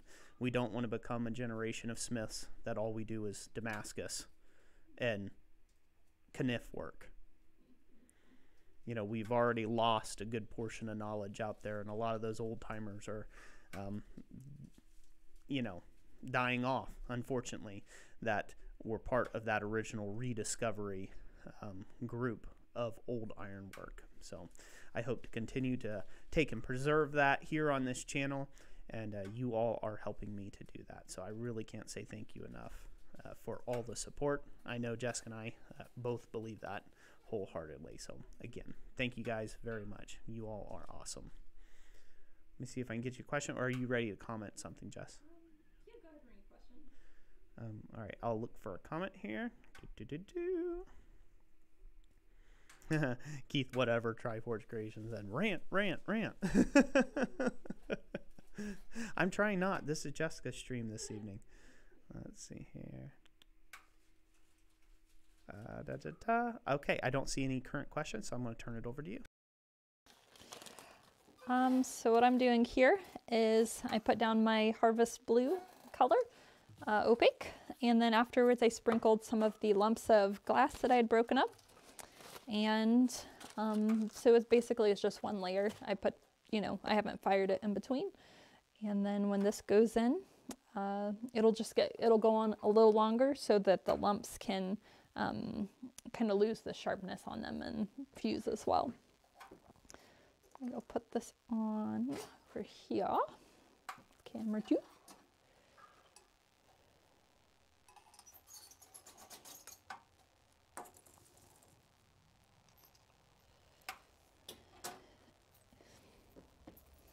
And get my gloves on. This one needs to dry a bit. I'm gonna put it up here. And I will show you guys this bowl. I'm not sure if the colors are still darkening or not, um, or if there's a little bit of a reaction here. This color was yellow. You can see a little bit of yellow there. So I'm not sure if it's still color cooling off or if, um, or if the um, clear was maybe a little thin there. I'm not sure yet, but this is how it turned out. You can see the outlines of the maple leaves and these other two kinds of leaves. I'm not sure, beech maybe? Beech. And then on the back, it's still that vibrant green color. So, all right, go back to my workstation. Um, so I think I think we're on to the very last firing now. So yeah, just waiting for a few minutes and and then we'll be able to pop it in there. So, let's see here. Uh, we we had a question. Uh, da, da, da. I can't see that. The blue is opaque? Question mark from Ben Toombs. And then let's see here. Michael Hunt asked, "What is the stuff you brush on the enamel before putting powder on it?" Yes, um, Ben Toombs opaque just refers to not see-through, so it's just a solid color um, versus transparent. That's the one that you can see through. And the stuff that I'm brushing on is um, it's half Klyr-Fire and half um, uh, half water, just um, not tap water, but uh, distilled water. And basically, it's almost um, like a thin glue that just holds the enamel in place on um, three-dimensional objects.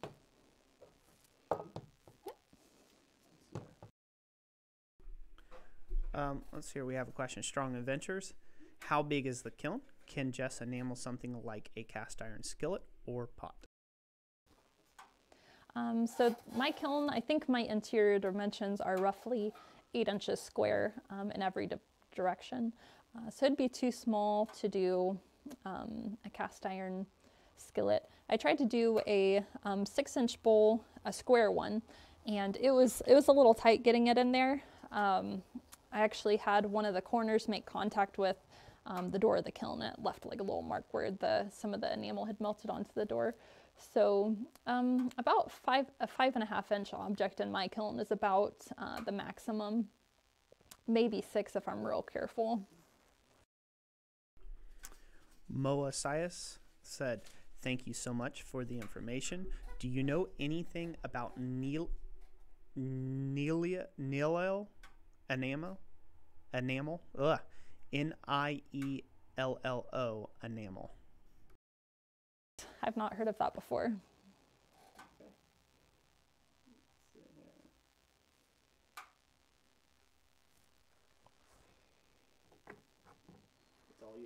Me? Okay. Um, you want me to talk? no, you're fine. I think uh, we'll actually go over and, and go ahead and put it in.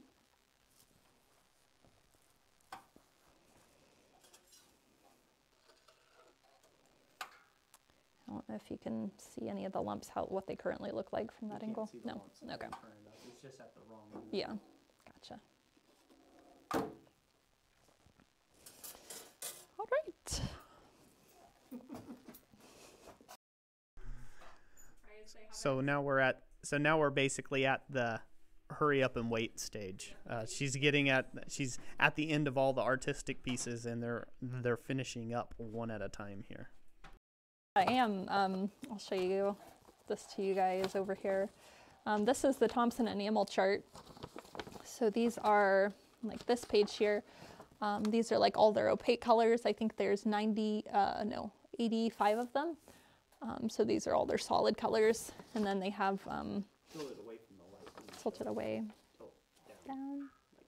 Yeah, there. There. A little bit better. Yeah. Okay. And then the following page after that is all of the um, transparent colors on which, and they actually show these on little um, grids of four eh, because they show what it looks like. Um, one of the little squares represents white, one of them represents flux, which is just clear. Um, one represents silver and the other one represents copper. So if you're trying to get, um, so with the transparents, if you're going for um, you know, a certain color, sometimes you might use white underneath it, or you might just do it straight on the copper, or you might do it on a layer of clear. And any of three of those could give you a different color um, from just one certain enamel. To answer some comments here, um, Corey Shire, good to have you in the house this evening.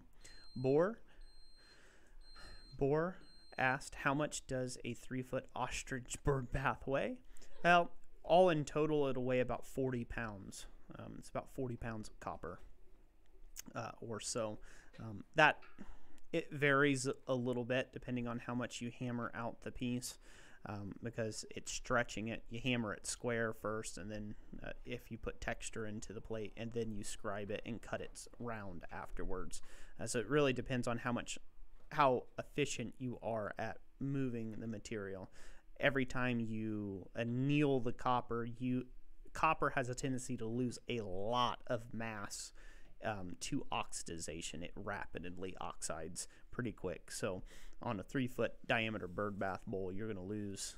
Um, you can lose probably five between five and ten percent of its weight um, just to scale if you're not careful with your heats. So like if you look.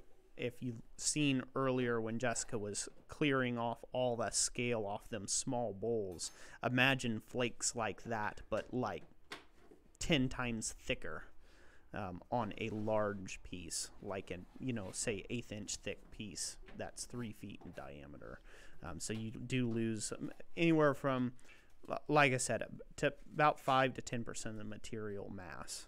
Um, if if you're not careful with your heats and uh, your annealing heats and forgings, no, it's a lot of fun. It's it's it's a balance, but yeah, it'll be right around forty ish pounds or so. Um, the whole feature will probably be somewhere in the neighborhood of 60, 70 pounds on top. It's probably 70 pounds, closer to 70 pounds. Okay, I think it's probably ready to get out.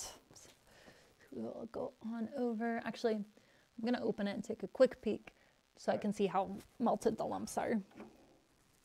Yep, those are good and ready to come out. So go ahead and pull this. And you might be able to see some of those lumps in there. Okay, I'll wait till it cools off. I'll try it, or I might be able to tilt it while it's on the little tray.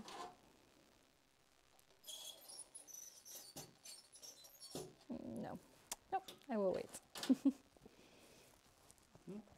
Said I will wait. So let me let me answer some questions real quick. Um, okay, Corey Shire, you said your new name will be Desert Forge and Ironworks. That's how you were here earlier. Well, good to know that. I think I knew that somewhere. Um, let's see here. What else? So while we wait for things to finish up from Jess's point of view, how did you two meet? Roy was an elf, if I remember correctly, from Heath Miller. no, Jessica was the elf, and I and I was the naughty child that asked her for her number to get me in good with Santa. There we go. That's that's how that's how we'll go with that one. So Maybe I should answer, Heath. Maybe I should answer like I did when you were here. I I say this time. This time I was the. it's just this time though.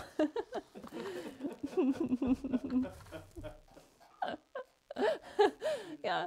Sometimes that's not the greatest answer. It's like that the only time.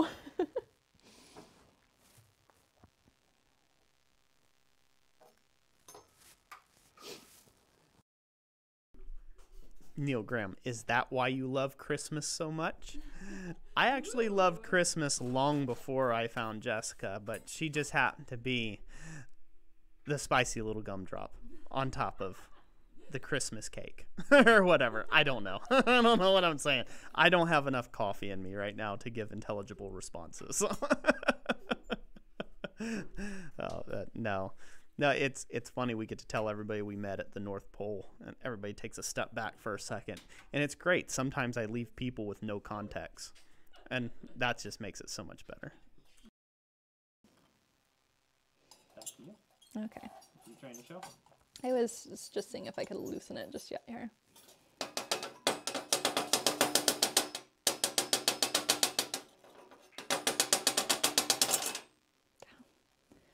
Really did not. Okay. Yep. This here's how this one's turned out. I think the lumps are still cooling a little, so they may darken just yet. But you can see how that gave it an interesting texture. A um, couple different colored uh, lumps. I used a light blue, a dark blue, and uh, a green. So this is, this bowl is complete. And Oh, and yes, and the back. Ooh, I nearly dropped it there. It kept that interesting, very metallic look. It's kind of like earthy, earthy tones and stuff. So, yes. So, what do you think? To um, which one do you think we should give away, Roy? Go Do you think we should- cams, I know. Okay. So we can see. uh, Right now, they're just watching the Paragon. Right now, they're just watching the Paragon. Okay. Right. Um, yes. So, which one? Which one of the two do you think we should um, save for the unnamed person, and which one do you think we should give away? Hmm. Hmm. Let's see here. Um, I think I think you are wanting the leaf one to go to the special, right? So I would say the lumpy one. Let's give the lumpy one away. The artistically done one. so who's who is ready for another quick little giveaway of some of Jessica's artwork here? So. The catchphrase should be Christmas is coming. Oh yeah, and you gotta put a Christmas tree on the end. The catchphrase is going to be "Christmas is coming," with a Christmas tree on the end. Christmas tree emoji. Let's do that. oh, I love that. Um, let's see here. Uh, Black Collar Ironwork said, "Okay, I'm back. I just broke my headset. Well, the mic still working. This run the audio to the television. Oh, well, he had some technical issues. Sorry, Black Collar Ironworks, that you were not able to use your speak to chat thing going on. All right, again, the catchphrase for the blue bowl with the lumps in the middle. I don't know how else to say that. Extra special peaks or glass chunks or I don't know. I don't know how you want to say it. Very artistically done bowl. Um, the catchphrase is Christmas is coming for anybody who wants to get in on that with a Christmas tree emoji on the end. So, so and uh, again, thank you all for being here this evening. Thank you everybody for uh, hanging out with us. Um, just yeah, best best dang family on the internet a guy and a gal could ask for. So thank you guys for being here. So I'll give you guys a chance to uh, uh, start chatting it up, and we will draw a name at random. All right. yeah, thank you everybody for joining us this evening. And I know we ran over a bit, uh, probably by about 45 minutes by the time the stream's over. An hour? Oh, well, a full hour. Yeah. um, yeah, but thanks for, for joining us. And even though it's um, not exactly blacksmithing, for checking it out anyway. And um, hopefully the information I provided you was um, helpful. You know, and I, if, if anybody does try enameling, I look forward to seeing how your projects turn out. You know, you can always email us a picture or tag us on Instagram. That'd be really cool to see. And um, again, if you're curious on the tools and all the stuff I use, um, the links are down in the description, as well as uh, links to additional enameling videos on uh, several different topics on enameling. So check those out. Yeah. All right. So let me go to. All right, we are back to my mic. I am going to draw somebody at random here. I am not going to look at the screen. I am going to look over here and I'm going to try to stop it on and whoever's name I land on, that is who's going to get the spicy bowl with with lumps, whatever it is there. All right, and ready, set, three, two, one. Robert Shell. Robert Shell. Christmas is coming Christmas with a Christmas tree. Robert Shell. You sure it's shell, not Schnell? Schnell, Shell. I think it's Shell. Pretty sure it's Robert Shell. Yep, Robert Shell. Congratulations. You are the winner. So, everybody give Robert Shell a hand clap. Also, as always, you guys need to get with us. Um, anybody who's won this evening, you've got to take and get get with us in the. Um, well, you didn't include that in the description. Just contact us through our website. Uh, email us so we can get your address so we can ship it out to you. Um, and we'll love to do that. So, congrats to everybody. And again, like I said, uh, Robert Shell won that bowl. and Stephen Watkins earlier had won the Anvil Bowl. So, again, congrats, congratulations, and uh, that is awesome. Sure. um, yeah, so our next live stream, which sadly I forgot to um, schedule it out, but I will get that um, rectified soon. Uh, our next live stream is next Friday. That one will be a forging live stream, so make sure to catch us then. Um, I'm not sure what exactly Roy has planned on forging, or even if he hasn't figured out yet, but it'll be something. It'll be in the forge. so um, join us then, and uh, thank you for joining us for an awesome live stream. Yeah. So for our for our next live stream, I, obviously it's going to be a giveaway live stream. I got some awesome things um, to give away as well. It won't be the Anvil giveaway live stream. That will be the second live stream of the month since we'll be in November. And yeah, Christmas is coming, so I'm getting more and more excited about that. I love giving stuff away. So um, yeah, so I don't know. You'll have to stay tuned for the giveaway items. You have to be in the you have to be in the stream. Um, that'll be next Friday night at 5 p.m. Eastern Time, Eastern Standard Time, to 7 p.m. ish. we'll just say ish now, seeing how far we can go with it there. And then um, let's see here. As far as the project, if I can get it done, I've got a lot of file work and things I have to get done, uh, prep work to continue on our hacksaw frame. So I'm hoping to get some time this upcoming week to work on that. Uh, but as I said, I have a crazy mass load of orders, so I might have to actually work on one of those customer orders in the stream, and uh, that'll just be based upon what we get to um, when we get there. So, so sky is kind of the limit. I hope to be finishing the saw the, the saw frame, but we'll see how we can do there. Just going to get better. Thank you for the two dollars to help with the shipping. Greatly appreciate that. I greatly appreciate everyone's you know, support this stream. Thank you all so much for all the kind super chats, all the kind words. Thank you for sharing these streams. Thank you for sharing our channel and supporting traditional ironwork. Um, we do really appreciate it. So, shall I leave you with final thoughts, Jess? Do you have any Jessica Johns to go on down the road?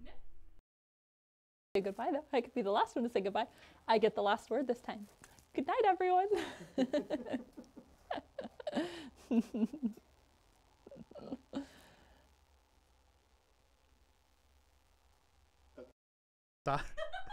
I don't know how to stop the stream. oh, hold on. She's going to have to come help me. Jessica, help. she thought she was going to have the last word, but uh, oh yes.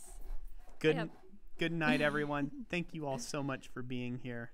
God bless you all, and uh, stay safe.